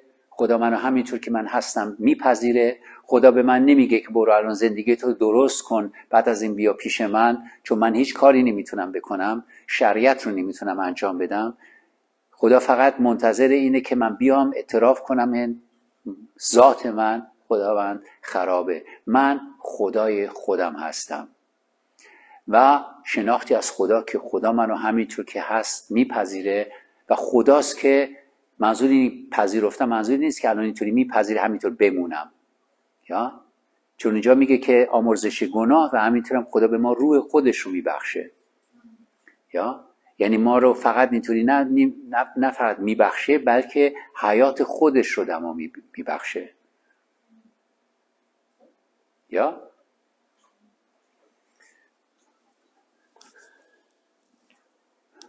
یعنی اینطوری به شما بگم که اگر با یک مثالی بگم که درست متوجه بشین این یک لیوانی هست که اونجا برای آب توشه. می‌تونی یه لیوان دیگه هم برای من بیاری؟ لیوان شفاف. آها. و یه قهوه هم اونجا داشتم اونجا هنوز نخوردم. قهوه نسی. یا؟ ها؟ بیا اینجا. اینم برادر احسانه.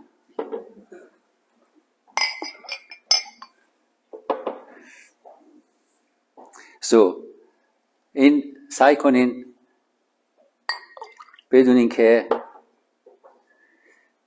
این ما هستیم و اینم خداست. این آبی که نگاه می‌کنی این روح خداست میشه شفاف یا؟ و فکری که خداوند از, از ابتدا داشت این بود که این زندگی ماست. زمانی که ما خدا میگه که شما با ارزش هستی شما رو دوست دارم. این چیزی است که خدا خلق کرده. این شما هستی این لیوان. این هم شما هستین. این لیوان خدا خلق کرده.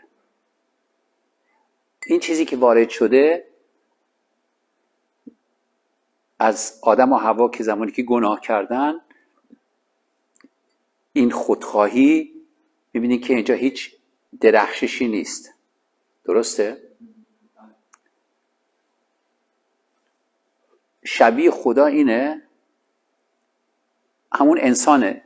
فقط این قسمت اینم انسانه فقط اینجا گناه توش. گناهکاره. خدا برای این ما رو خلق نکرده. الان خدا الان که نگاه می‌کنیم مثل اینکه نه خودت هستی آیا این لیوان ارزش داره یا نه؟ الان این پر از گل شده. ارزش داره این یا نه؟ نه؟ این خدا خلق کرده شبیه خودش خلق کرده. این ارزش داره یا نه؟ خدا خلق کرده که ارزش داره. این چیزی که توشه این از خدا نیست. بعد خدا می‌خواد این تقریبا می‌تونم بگم این یک این مثالی که گذاشتم موز که گفتم اینو بردارین این, این موادی که توشه بردارین عنوان میوه یا عنوان شخصیت. این شخصیت شیطانه. در ما قرار گرفته خودمهوری که پر از غرور تظاهرات ریاکاری خشم داوری غیبت تمام اسمی می‌تونی بیاری برای گناه اینه. و این لیوان به حال ارزش داره. خدا اینو ور نمیداره میگه که به خاطر اینکه الان اینجا چیز من این لیوان رو میندازم دور. خدا می‌خواد این نجات پیدا کنه و چیز خودش بیاد به به هدف خودش بیاد. عیسی زمانی, زمانی که به دنیا آمد این بود. و هر کسی که اینو می‌بینه این آب رو می‌بینه با این خدایی که اونجا هست یا خدای واحد هست پدرش هست با اون می‌تونه زمانی که مینوشه اون خدایی که خدای پدر اونو مینوشه. مزهش اینه. این مزه شیطان رو میده. سو الان زمانی که اینو نگاه می‌کنیم این ما هستیم یک انسان گناهکار. و زمانی که خدا میگه که من تو رو خلق کردم که شبیه من بشی پس باید این چیزی که توشه این موادی که توشه باید خالی بشه. فقط اینه. زمانی که میگه توبه کنی بازگشت کنی یه بدون که تو این بایستی می بودی الان این شدی. این خداست این تو هستی. توبه کن بازگشت کن. یعنی زمانی که باور می‌کنی به او و می‌دونی که برای این گناه های تو آمرزیده شده میگه زمانی که توبه و بازگشت می‌کنی یه چیز بزرگی بیاری که.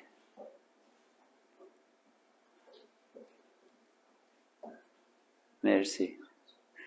زمانی که میگه توبه با بازگشت کنین بعد از این روح القدس رو بگیرین پس زمانی که من توبه و بازگشت می‌کنم این توبه و بازگشته و بعد از این روح خدا میاد روح خودش رو به ما میریزه. الان تو چی شدی؟ شبیه خدا. شبیه خدا شدی. الان هر کسی که تو رو می‌بینه و مینوشه یکم چیز. کی رو مینوشه؟ عیسی رو مینوشه. چون این او در تو قرار یعنی شخصیت او ماهیت اوست. متوجه هستین؟ و این باید دیده بشه. برای این ما خلق شدیم. به این خاطر خداوند عیسی مسیح میگه وقت تمام شد. ملکوت خدا نزدیک شد. این آب نزدیک شد. اون پادشاه جلال چی شد؟ توبه کنین بازگشت کنین این هدیه هست. من یه چیزی رو آماده کردم و این صلیب عیسی مسیح. یه چیزی رو آماده کردم که تمام آشغالای خودت رو بریزی توش. که من به تو این حیات جاودانی رو یا روح القدس رو بدم. به این خاطر میگه من قیامت و حیات هستم. هر کسی به من ایمان بیاره یعنی اینطوری بیاره دیگه حیات جاودانی رو داره. این نخواهد مرد چون خدا درونشه. پس توبه و بازگشت یک هدیه هست که خداوند به ما میبخشه.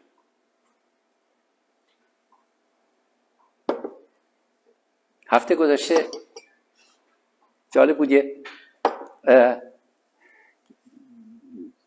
کسی بود که تقریبا چند ماه پیش بود اتفاقی افتاده بود که یه جوری از من ناراحت شده بود. انتظار از من چیزایی داشت. عنوان شبان منم انجام نداده بودم. و و بعد از این دیدم که برای خودش ناراحت هفته گذاشته اینطور رفتم اونجا نشستیم اونجا صحبت کردیم. خودش گفته من خیلی ناراحت هستم در این قسمت من انتظار داشتم این کارو بکنم اون کارو بکنیم این کارو نکردیم اینو چیز کردیم بعد از این واقعا فکر کردم دیدم که درست عنوان شبان درست رفتار نکردم. گفتم اون موقع حالم هم خوب نبود زمان کرونا هم بود و دیدم که درست میگه.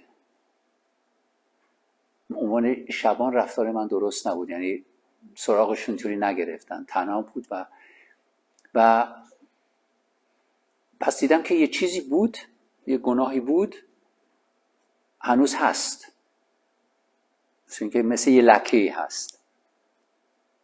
و بعد از این یهو اینو متوجه شدم گفتم دعا کردم بعد از خدا طلب بخشش کردم از این خواهرم همینطور گفتم منو ببخش. واقعا من باید سی عنوان شبان باید این کارو می‌کردم و سراغش میگردم واقعا در این قسمت من علیه خدا و علیه تو گناه کردم منو ببخش. و به حال کردم و واقعا توبه کردم. من مقصر هستم در این قسمت. برحال منو بخشید. بعد از این آمدم توی ماشین نشستم. میگم مرسی خدا من که اجازه دادی امروز هم دوباره توبه کنم. بازگشت کنم. امروز یه لکه در زندگی من بود برداشته شده. بعد از این با رفتم همینطور نسین نسین همینطور در باز کردم. گفتی ها؟ توبه کردی؟ گفتم توبه کردم بازگشتم آزاد شدم. خدا رو شکر. شکر برای صلیب عیسی مسیح که برای این چیزم این گناه هم الان اونجا زندگیش داد و برای این قسمت یه لکه هست که فقط با خون عیسی مسیح برداشته میشه هیچ چیزی که وجود نداره. چون برای این گناه عیسی مسیح جوابش رو داد روی صلیب. گوش کردین؟ به این خاطر میگم مرسی عیسی جان تو منو بخشیدی. شکرت می‌کنم برای این گناه هم که من کردم تو منو بخشیدی. پس می‌بینین که شادی به وجود آمد که من اجازه دادم اجازه داشتم توبه کنم.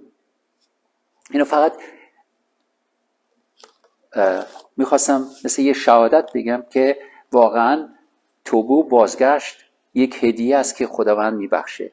در توبه و بازگشت الان این توبه بازگشتی که من الان کردم اینو در مسیحیت هم به هر حال ما کامل نیستیم که ما هنوز اشتباهاتی می‌کنیم گناهایی می‌کنیم. به هر حال اینجاست که دائما ما می‌تونیم به حضور خداوند بیاریم. احتیاج نیست توبه و بازگشت کنیم که خداوند به ما الان روح خودش رو به ما ببخشه. این روح این توبه و بازگشت یک باری هست که اتفاق میافته. زمانی که من قلب خودم رو باز می‌کنم و اجازه میدم عیسی مسیح رو قلب من میاد این یک بار اتفاق میافته.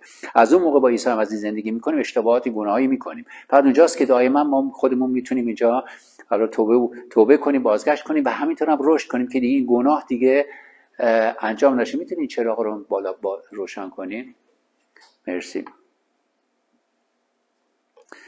پس توبه و بازگشت یعنی فکر ما هدف ما باید تغییر پیدا کنه. یعنی 180 درجه باید 115 این توبه بازگشته. یا؟ اینجا من یک مثالی گذاشتم مثل اینکه الان من توی چیز نشستم توی یه قطاری نشستم. این سفر زندگی منه و سمت مثلا پاریس میرم جنوب. یا چمدونای من توی چیزم هست توی قطاره و همینطوری میرم. زمانی که یه کسی متوجه میشه که اصلا هدف من درست نیست زندگی من درست نیست طرز زندگی من درست نیست. و یهو متوجه میشه که نه من کلا باید برم برعکس میشیم کوپنهاگن. کوپنهاگن در شماله. تو زمان یه کسی که اینو متوجه شده پس چه کاری باید بکنه؟ ترمزش رو بکشه. ترمز باید بکشه میشه توبه. و همینطور از قطار میای بیرون میشه توبه. یعنی تو اعتراف کردی که من سن مسیر من اشتباهه فقط کسانی هستن که میگن توبه می‌کنن میان بیرون. فقط همونجا یه برای خودشون یه خونه ای درست می‌کنن. میگم تو توبه کردم دیگه. خدا میگه که نه بازگشتم.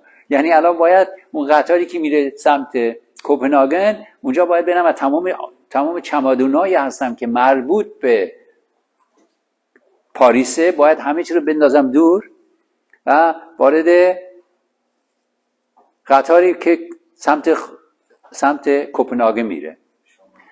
و خدا رو زمانی که وارد میشی در این چیز؟ کوپنهاگن خدا چمدانهای خودش رو به تو میبخشه. روح خودش رو به تو میبخشه. که الان می‌تونی اون مسیر رو برگردی و اون جایی که هست عیسی مسیح هست اون جایی که خدا هست. پاریس اونجا یه بمب اتم یک روز اونجا خواهد افتاد. و زمانی سمت او میری اونجا مثال گفتم نه نترسین اونجا بهرحال از بین خواهد رفت. الان تو می‌تونی برای خودخواهی خودت نه پاریس رو دوست دارم من می‌خوام زندگی خودم رو انجام بده باشه okay دیگه در دست خودش. هر کسی به من ایمان بیاره من قیامت و حیات هستم. میگه که هر که به من ایمان بیاره حیات جاودانی. یعنی به وسیله توبه و بازگشتی که ما برمیگردیم به هدف هدف هدف اصلی. به این خاطر مثلا تو دنبال این هستی که زندگی خوبی در این دنیا داشته باشی چیز نرماله و همینطور هم برای چیزهای خودت رو همینطور که گفتم حباب های خودت رو ساختی. فکر می‌کنی اینجا خوشبخت میشی. و دنبال این چیزهایی هستی. برای خدا میگه که زمانی که متوجه شدی به شناخت خودت رسیدی که گناهکار هستی به شناخت من رسیدی که من اونجا کوپنهاگن هستم تو رو صدا می‌کنم. اون موقع تمام تنها راهی که می‌تونی داشته باشی که اینا توبه کنی بازگشت کنی. به حال خیلی هستن که تو همون قطار هستن نشستن همه چی رو گوش می‌کنن و میگن یا باور می‌کنم باور می‌کنم به عیسی مسیح باور می‌کنم که باید برم کوپنهاگن. و باورم می‌کنم به توبه و بازگشت و من تصمیم گرفتم تو قطار بشینم برم. پس اینجا فایده نداره. یعنی باید یک عملی انجام بشه. همینطور گفتم توبه اینجا نوشته. توبه یعنی خطا چیز رو کشیدن پیاده شدن و بازگشت میشه اون سمت اون سمت رو باید بریم. و یک داستانی هست که عیسی مسیح خودش در مورد این توبه و بازگشت خیلی باز توی کتاب مقدس نوشته اینم خودش هم تعریف کرده که در لوقا باب 15 است از آیه 11 تا 24 اینجا در مورد پسر گم شده صحبت می‌کنه. این پسر گم شده به حال ما می‌تونیم همینطور برای بی ایمانان و همینطور برای ایمانداران چون بعضی وقت ایمانداران هم هستن که گم میشن فقط الان برای بی ایمانان اینجا در مورد من پیشنهاد می‌کنم برین اینجا توی کتاب انجیل لوقا باب 15 از 11 تا 24 اینو می‌تونید بخونین. این داستان ماست داستان به حال انسانه که چطور پدر دوتا فرزندی داشته و یه دونه فرزند خودش یه روز میاد به, پیش پدرش اینجا میگه که پدر ارث منو بده من می‌خوام برم من می‌خوام زندگی خودم رو انجام بدم. و و این پدر معمولا اینطوریه که معمولا پدر باید بمیره که به بچهش این ارث رو برسه. فقط این یه بیحرمتی بود که پسرش کرد گفته ارث منو مثل که برای من مهم نیست که مرده هستی مرده نیستی من, من ارث منو بده. بعد این ارثش رو برمیداره و میره و با خودخواهی خودش رو زندگی می‌کنه و همینطور تمام پولا رو خرج می‌کنه و در زمان یه قطعی به وجود میاد و همه چی از دست میده. یعنی زندگی چیز خودخواهانه که انجام میده آخرش هم واقعا به یه ورشکستگی می‌رسه و آخر وارد به یک طویله طویله میگن طویله خوک خوک ها اینجا خوک رو نگه میداره. یعنی وضعش واقعا اونجا چیز میشه که همه چی رو از دست میده و اونجا میگه که حتی اونقدر گرسنه بود که حتی این سابکارش هم می‌گفت که از حداقل از این از این غذای خوکا به من بده. حتی اینم نمی‌دادن. یعنی وضعش می‌خواد عیسی مسیح می‌خواد وضع انسان رو روشن کنه که جان من جان ما این نفس ما چه چیزی احتیاج داره و بعضی وقت که خدا رو ترک می‌کنیم و خودخواهانه می‌خوایم زندگی کنیم به کجا می‌تونه برسه؟ همینطور که زندگی خودم رو تعریف کردم که واقعا به خودکشی رسیده بودم. دیگه واقعا دیگه به پایان رسیده بودم. خیلی هستن که تو این فکرهای خودکشی میاد. به چه دردی من زندگی چرا من زندگی می‌کنم؟ و همینطور خودشون لعنت می‌کنن. چرا خدا چرا منو اصلا خلق کردی؟ خاک بر سرم چرا اینطوری هستن؟ ای لعنت رو پشت لعنت روی خودشون میارن. یا فقط خدا هیچ موقع تو رو لعنت نمی‌کنه. این خودمون هستیم. و چون از خدا دور شدیم. همون این پسر گم شده همینطور خودش رفته خودش می‌خواست مستقل باشه بدون خدا. و این داستان بشریته و چطور کلام خدا میگه که چطور برحال به یه جایی رسید که واقعا به خودش رسید. کلام خدا میگه که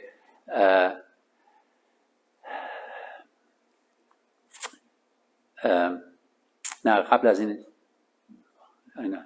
نه نه همون. اولینشو. یا. پسر وضعیت خود رو شناخت و درک کرد. او به خود آمد. یعنی واقعا به خودش نگاه کرد. همینطور که گفتم توبه و بازگشت اول به شناخت خودت باید برسی. من کجا هستم؟ چه زندگی می‌کنم؟ آیا این زندگی می‌کنم واقعا درسته یا نه؟ خودت نگاه می‌کنی ببینی که واقعا یه تختی تو قلبت داری اونجا خودت نشستی و اونجا تو خودت اونجا سلطنت می‌کنی. اول به خودش می‌رسه و میگه که من پیش پدرم چه چیزایی داشتم و حتی غلامای پدرم خیلی بهتر زندگی می‌کنن. الان یعنی به شناخت پدرش رسید به شناخت خودش رسید و بعد از اینجا تصمیم رو گرفت. اینو می‌تونین برین توی خونه خودتون بخونین و کسانی که اصلا انجیل لوقا باب 15 است و به خودش آمد و اونجا گفته که نه من میرم من تصمیم می‌گیرم برم پیش پدرم و علیه خدا گناه کردم و اونجا میرم اونجا توبه می‌کنم. منو ببخش پدر جان و منو عنوان یک غلام بپذیر. چی که میگه؟ هیچ امیدی نداشت. گفته که واقعا من به درد نمی‌خورم. من خیانت کردم. ثروت پدرم رو از دست دادم. یعنی نشان ثروت منظور اینه که حیاتی که خداوند به من بخشیده از دست دادم. واقعا به ورشکستی روح افتادم. الان میرم این تصمیم رو گرفته و زمانی که این تصمیم رو گرفته من توبه و مازگشت می‌کنم دیگه از اون موقع شروع کرد به راه رفتم اون موقع هم به حال ماشین و اینطوری بوس و اینطوری چیزایی نبود بلکه پیاده بایدی می‌رفتن. فقط برنه برنه میگن. همینطور می‌رفت اونجا لباسش همه کثیف بو خوک هم می‌داد چون تو پیش خوک هم اونجا زندگی می‌کرد. و در این حال وضع دنیا وضع انسان اینطوریه. فقط ما نمی‌دونیم. از طریق روح روحی از طریق نفسی ما اینطوری هستیم. یا هر چقدر دانشمندم باشیم از طریق روح واقعا این این وضع ما اینطوریه. چون حیات رو نداریم حیات چیز رو نداریم چون این هستیم. هر چقدرم دانشمند باشه هر چقدرم یه مقامی داشته باشه از دید خدایی نیستیم. به درد نمی‌خوره. پر از خودخواهی و خودمهوری و خدای خودمون هستیم.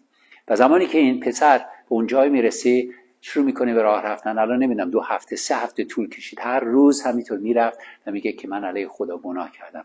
بعد از این کلام خدا میگه که زمانی که پدرش از آیه 22 نمی‌دونم یه چیزی دیگه هم هست؟ آها. آه نه این قسمت هنوز نیست. باشه اوکی اینا رو بذار. برات زمانی که میگه که کلام خدا میگه که زمانی که پدرش پسرش رو از دور دید. یعنی پدر دائما منتظر پسرش بود. عیسی مسیح اینو که تعریف می‌خواد بکنه می‌خواد قلب پدر رو به ما معرفی کنه. پدر آسمونی ما.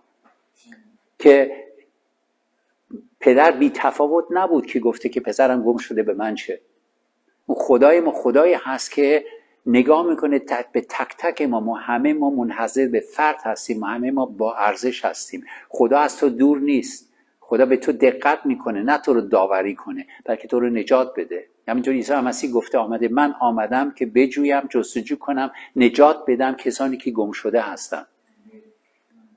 پس چشمای خدا چشمای پدر آسمونی ما روی تک تک ماست که خدا ما رو شبیه خودش خلق کرده. ما با ارزش هستیم و خلق شدیم که جلال خدا رو نشون بدیم. یا؟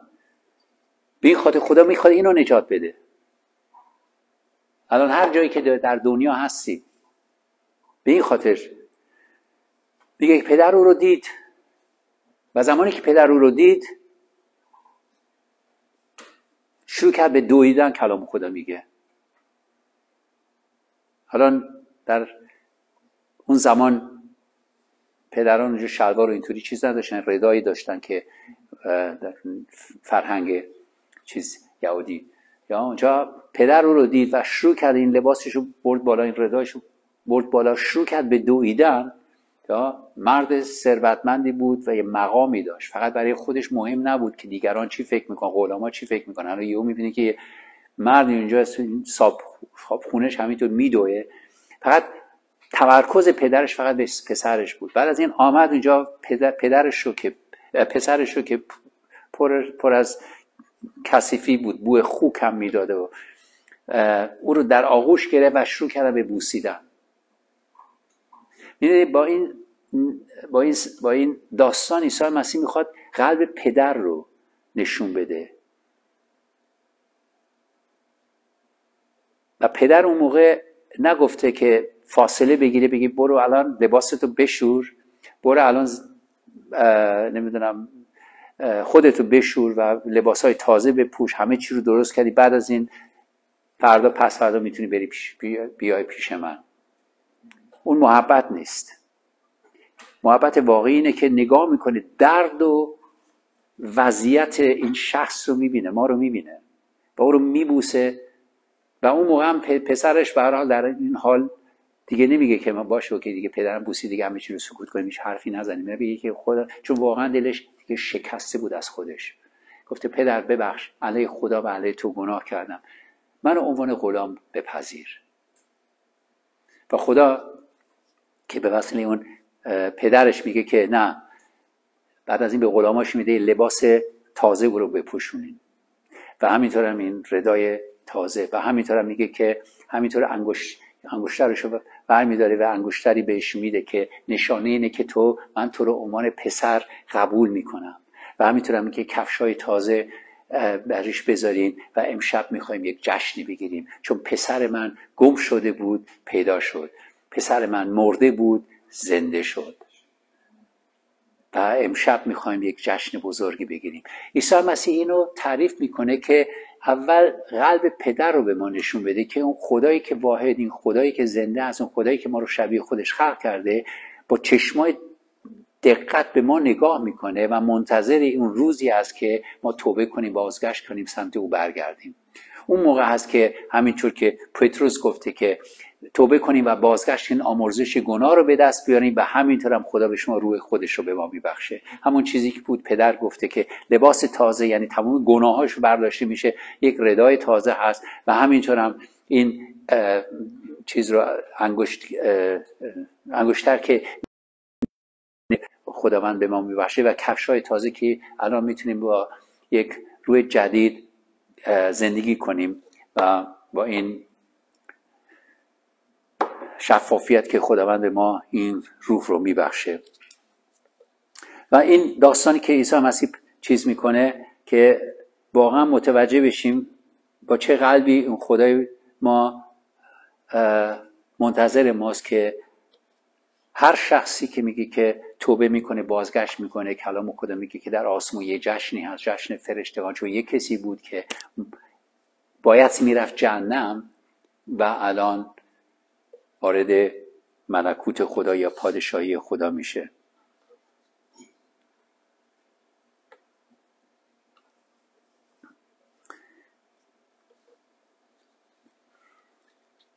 و اعمال رسولان باب 17 آیه 30 تا 31 اینجا میگه که پس خدا از زمانهای این یکی می‌تونه به تو بخونید. من مشکل دارم. از خدا از زمانهای جهالت چشم الان تمام خلقت را در هر جا حکم میفرماید که توبه کنند. زیرا روزی را مقرر فرمود که در آن رب رب مسئول را به انصاف داوری خواهند بود به آن مردی که معین فرمود و همه را دلیل داد. به این که او را از مردگان برخیزد آمین. پس اینجا میگه که پس خدا الان به تمام جمعیت به تمام دنیا این دعوت رو می‌کنه چون توبه بازگشت دعوتی از دعوت می‌کنه که بیان اونجا توبه کنم و یک روزی هم برای خدا این روز داوری خواهد بود که اونجا خود عیسی مسیح که این بها رو پرداخت کرد درد و رنجا رو کشید او یک روز جاوری خواهد کرد. یا؟ و اینجا به میگه که الان خدا این حکم رو میفرماید برای توبه که همه دنیا همه بشریت بتونن به این حقیقت برسن توبه کنن بازگشت کنن. یک روزی همه ما جلوی عیسی مسیح اونجا داوری خواهیم شد. و اونجاست که عیسی مسیح نگاه می‌کنه میگه که به حال کیا هستن که واقعا این بخشش رو دریافت کردن گناهاشون آمرزیده شده. کیا هستن که محبت خدا رو یعنی عیسی مسیح رو که رد می‌کنی یعنی محبت خدا رو رد می‌کنی. عیسی مسیح که رد می‌کنی یعنی بخشش خدا رو رد می‌کنی. عیسی مسیح رو که رد می‌کنی یعنی بخشش گناه رو هدیه که خداوند به ما بخشیده رد می‌کنیم. پس اونجا خدا خواهد گفت باشه که من حکم شدم داوری شدم که دو داوری نشو به وسیله ایمان الان داوری نشی الان تو که منو قبول نکردی الان تو باید الان داوری بشی. این داوری داوری سختی خواهد بود که اینجا داوری جهنمه.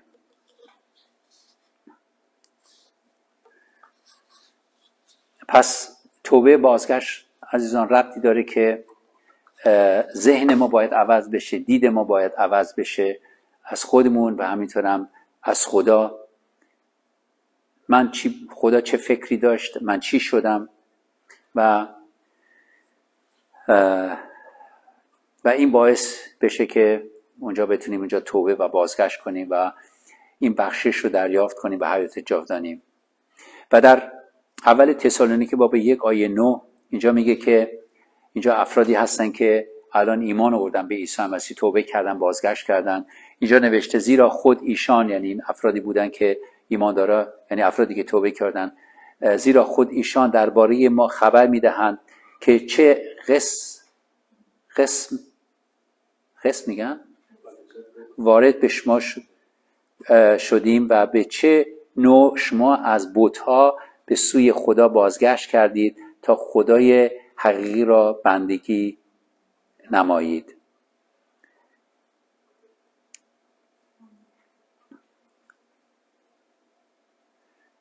چه نوع شما را از ها به سوی خدا بازگشت کردیم؟ ببینید بتهایی میپرستیدن چیزهایی درست کرده بودن الان متوجه شدن توبه کردن بازگشت کردن الان به الان خدای حی. همینطور اعمال رسولان با به 19 اینجا میگه که و بسیاری از آنانی که ایمان آوردن آورده بودن آمدن و به اعمال خود اعتراف کرده آنها را فاش می نمودن.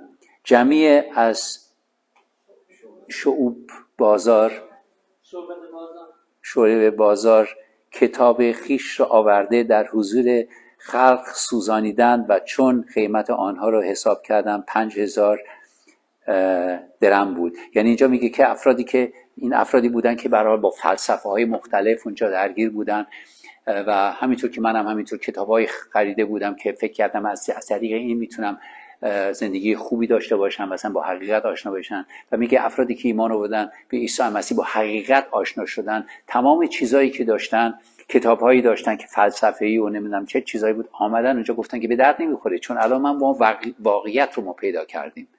حیات ما پیدا کردیم. به, به چه دردی می‌خوره؟ بعد از این آمدن اونجا سوزوندن یعنی اونجا این یک اعلامی بود که اینجا انجام دادن. و همینطور هم اعمال رسولان باب 26 میگه تو رو رهایی خواهم. اینو چیز خداست که بعده میده نبوت می‌کنه برای پولس. اینجا میگه که تو رو رهایی خواهم داد و قوم قوم و از امتهایی که تو رو نزد آنها خواهم فرستاد تا چشمان ایشان را باز کنی تا از ظلمت به سوی نور و از قدرت شیطان به جانب خدا برگردند تا آمرزش گناهان و میراسی در میان مقدسین به وسیله ایمان که بر من در من است بیابند. یعنی اینجا میگه که معموریتی که خداوند به پولس داده گفته برو اونجا و شروع کن با موعظه کردن که ایشان را از ظلمت به نور از ملکوت شیطان به ملکوت خدا هدایت کنن که آمرزش گناه رو به دست به وسیله ایمان آمرزش گناه رو به دست بیارن پس توبه و بازگشت توبه و بازگشت واقعی. اونجا گناه های تو برداشته میشه. از ظلمت از ظلمت شیطان به سمت خدا هدایت میشی. از ظلمت به نور از و همینطور دریافت کردن روح القدس شفاست و مقدس شدن. و همینطور هم می‌تونی اونجا برای ملکوت خدا رو بارس ملکوت خدا بشی. این تمام چیزهایی هست که خدا انسان رو دعوت می‌کنه. و چطور می‌تونیم اینو به دست بیاریم؟ و اینجاست که در عهد عتیق می‌بینیم که خدا به وسیله انبی ها صحبت می‌کرد و افراد رو قوم رو توبه, توبه و بازگشت هدایت می‌کرد. در عهد جدید اینجا روح خداست. روح قدوسی که ما رو هدایت می‌کنه به توبه و بازگشت روح خدا الان اینجاست و هر جای کسی که الان اینجا به ما بس شده روح خدا همه جا هست که هدف روح خدا اینه که ما رو ملزم کنه به گناه که به همینطور هم مسیر رو اونجا مکاشفه کنه کسانی که جوینده هستن که بتونیم باور کنیم و ایمان آوردیم و توبه کنیم. اینجا یوحنا باب 16 8 میگه که چون او آید یعنی روح القدس جهان را به گناه و عدالت و داوری ملزم خواهد نمود. روح القدس که الان این کار رو انجام میده. این داستان خودم رو که تعریف کردم که چطور من نجات پیدا کردم. زمانی که اونجا دیگه واقعا دیگه بنبست رسیده بودم اینجا روح خدا بود که گفته آلبرت چی میخوایی روح خدا بود که به من نشون داد که من چقدر خرابکار هستم. و روح خدا بود موقع آمد اونجا کلا منو تازه کرد. و بعد از یه مدت نشون داد که عیسی مسیح با کار خودشو که روی صلیب کرد منو نجات داد و از اون موقع من ایمان آوردم به عیسی مسیح. یعنی کار روح القدسی که انجام میده. رومیان باب دو آیه چهار آخرین آیه رو بخونم. آیا نه. یا آنکه دولت دولت مهر آیا آنکه دولت مهربانی و صبر و حلم او رو نا چیز میشماری و نمیدانی که مهربانی خدا تو را به توبه می‌کشد. یعنی زمانی که ما توبه و بازگشت می‌کنیم هر چیزی که خدا نشون میده این مهربانی خداست که این بار گناه های ما رو برداره. این که ما بودیم به وسیله توبه و بازگشت از این بسازه. شفاف پاک مزه خدا میدیم. آرامش خدا رو دریافت می‌کنیم. سلامتی خدا رو دریافت می‌کنیم. چون این توی آن آب یعنی روح خدا اینجا محبت خداست. سلامتی خداست آرامش خداست قدرت خداش و هر چیزی که نفس ما احتیاج داره برای زندگی کردن. و در این قسمت هم ما وصل میشیم دوباره به نقشه خدا. که می‌تونیم دیگه با خدا یه زندگی جدید شروع کنیم. و اینم آخرش هم که زمانی که کسی توبه می‌کنه بازگشت می‌کنه. عیسی مسیح رو قبول می‌کنه. بعد از این با این نشان با این ایمان بعد از این تعمید می‌گیره. همینطور هم که ما خوندیم. این تعمید رو دو هفته بعد در مورد صحبت خواهم کرد. و هفته آینده هم در مورد تولد تازه که اتفاق میفته در توبه. چطور ما همینطور که این نشان چیز رو که به شما گفتم چطور گناه ما آمرزیده میشه همزمان خدا روی خودش رو در ما میریزه. و اونجا ما میگیم اون موقع هست که دیگه فرزندان خدا میشیم. چرا؟ چون روح خدا در ما قرار بده ما مولود میشیم با روح خدا. و اونجا خدا به هدف خودش می‌رسه. آمین. گود معمولا ما در این بعد از این چیز بعد از این تعلیم توبه و بازگشت نمی‌دونم الان سوالی هست در این قسمت.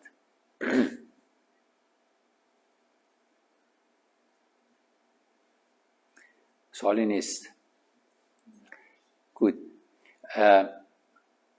معمولا بعد از این درس ما این دعای توبه و بازگشت رو می‌خونیم. و دعای توبه و بازگشت برای, برای این احتیاج داریم که واقعا با تمام قلبمون باور کنیم که گناهکار هستیم خود محور هستیم. و همینطور هم باور کنیم به اون انجیل عیسی مسیح و باورم کنیم که عیسی مسیح روی صلیب اونجا واقعا گناه های ما رو همه گناه های ما رو و گناهکار بودن ما رو اونجا جریمه شو داده. به این خاطر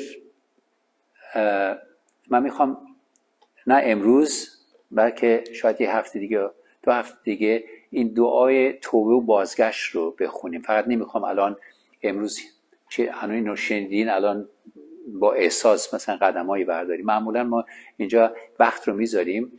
فقط من می‌خوام در این قسمت ها که امروز هم مخصوصا در مورد توبه و بازگشت صحبت کردیم خودتون فکر کنین خودتون دعا کنین و خود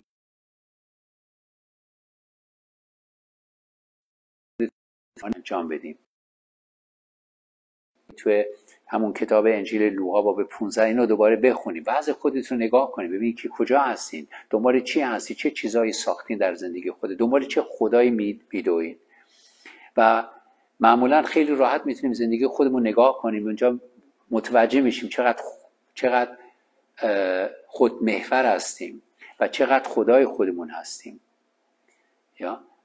یعنی ما خدا خدایان هستیم. یعنی من سلطنت می‌کنم من افسار زندگی خودم در دستم گرفتم و من سلطنت می‌کنم. من میگم چی خوبه چی بده. یا؟ این چیزهایی هست که خودتون باید کشف کنین. اینم مربوط به اینه که چقدر شما دعا می‌کنین چقدر دنبالش میرین. و هفته آینده در مورد تولد تازه صحبت خواهم کرد که بدونین که این چیزی که اتفاق افتاد که امروز گفتم که توبه و بازگشت اینه.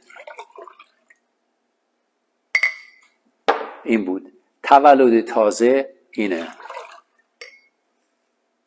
این دوتا یکسان اتفاق میفته متوجه هستین؟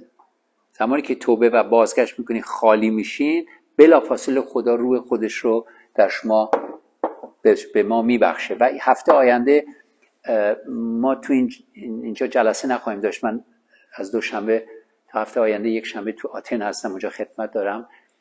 فقط اونجا می‌تونین همینطور از طریق اینستاگرام اونجا با شما وصل خواهم شد. اونجا در مورد تولد تازه صحبت خواهم کرد.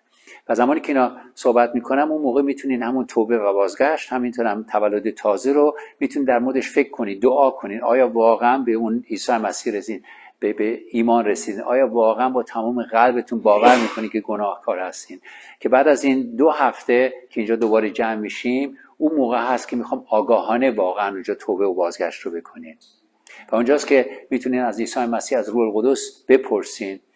و ملاقات داشته باشین صحبت کنین از خدا بطلبین. هر موضوعهایی که از باز نشده دعا کنین خدا به شما کمک خواهد کرد. هدف خودشه. نگاه کنیم به این پدر آسمونی ما که چشمش دقت کرده به تو و منتظر اینه که پسرم یا دخترم برمیگرده که او رو در آغوش بگیرم و این محبت خودم رو به او منتقل کنم و گناهش رو ببخشم. یک جشنی برش ما برپا کنم.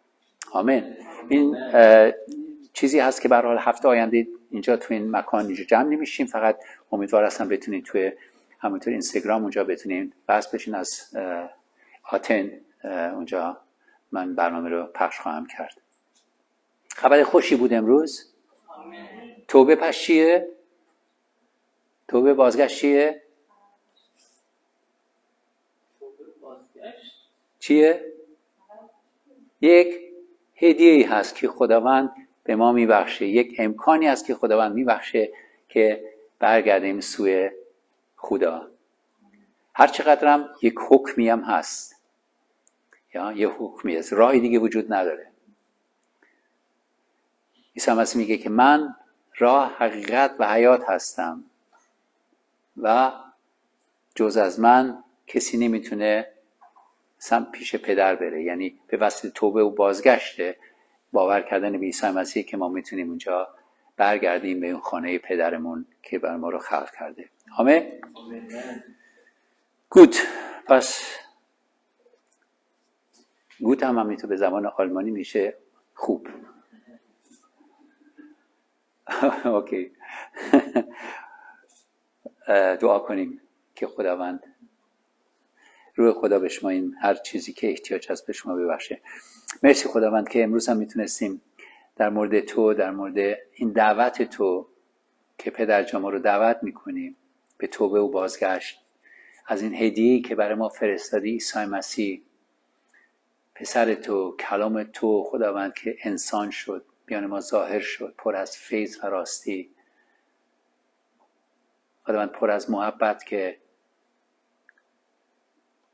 نه برای خودش فکر کرد بلکه تمام تمرکزش ما بودیم. خداوند که چطور این راه نجات رو بره که ما آخر به وسیله مرگ و قیامت او آمرزش گناه رو به دست بیاریم.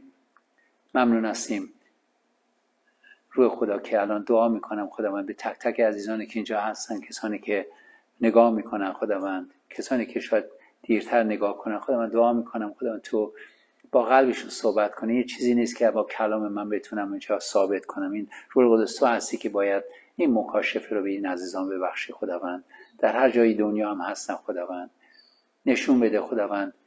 همینطور گناهکار بودن و وضعیت روحی ما خداوند.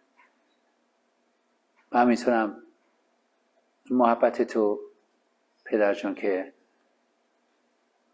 تو این برنامه شرکت می‌کنم. خداوند این تصادفی نیست بلکه تو هدایت کردی که کلام تو رو بشنون و یا ایمان بیارن و نجات پیدا کنن. شکرت می‌کنیم که روح قدس تو همه جا حاضر هستی خداوند و این کار رو کمک رو خواهی کرد. و قلبا رو آماده کن برای هفته آینده که در مورد تولد تازه صحبت می‌کنیم که واقعا این مطلب برای ما باز بشه برای این عزیزان باز بشه. شکرت می‌کنیم. و در نام تو عیسی مسیح دعا می‌کنیم. آمین. و آمین. روزتون بخیر باشه عزیزان. و شما هم همینطور. احتمال زیاد فردا هم دیگه رو می‌بینیم. و عزیزانی که شرکت می‌کنن توی سایت یوتیوب 886 آلفا اومگا یک شنبه ها جلسه اونجا پخش میشه live پخش میشه می‌تونید اینجا شرکت کنید و همینطور هم ما یک برنامه توی چیز داریم توی تلگرام داریم که اونجا تمام موعظه ها و تمام تعلیم های کلیسایمون اونجا میکس داریم کسانی که علاقه مند هستن می‌تونن آدرس خودشون یا تلفنش خودش چیز کنن و اونجا می‌تونیم اونجا وصل کنیم که هر چیزایی که خداوند میبخشه اونجا بتونیم با شما تقسیم کنیم. فیض خدا با شما باشه. تا بعد پس خداحافظ.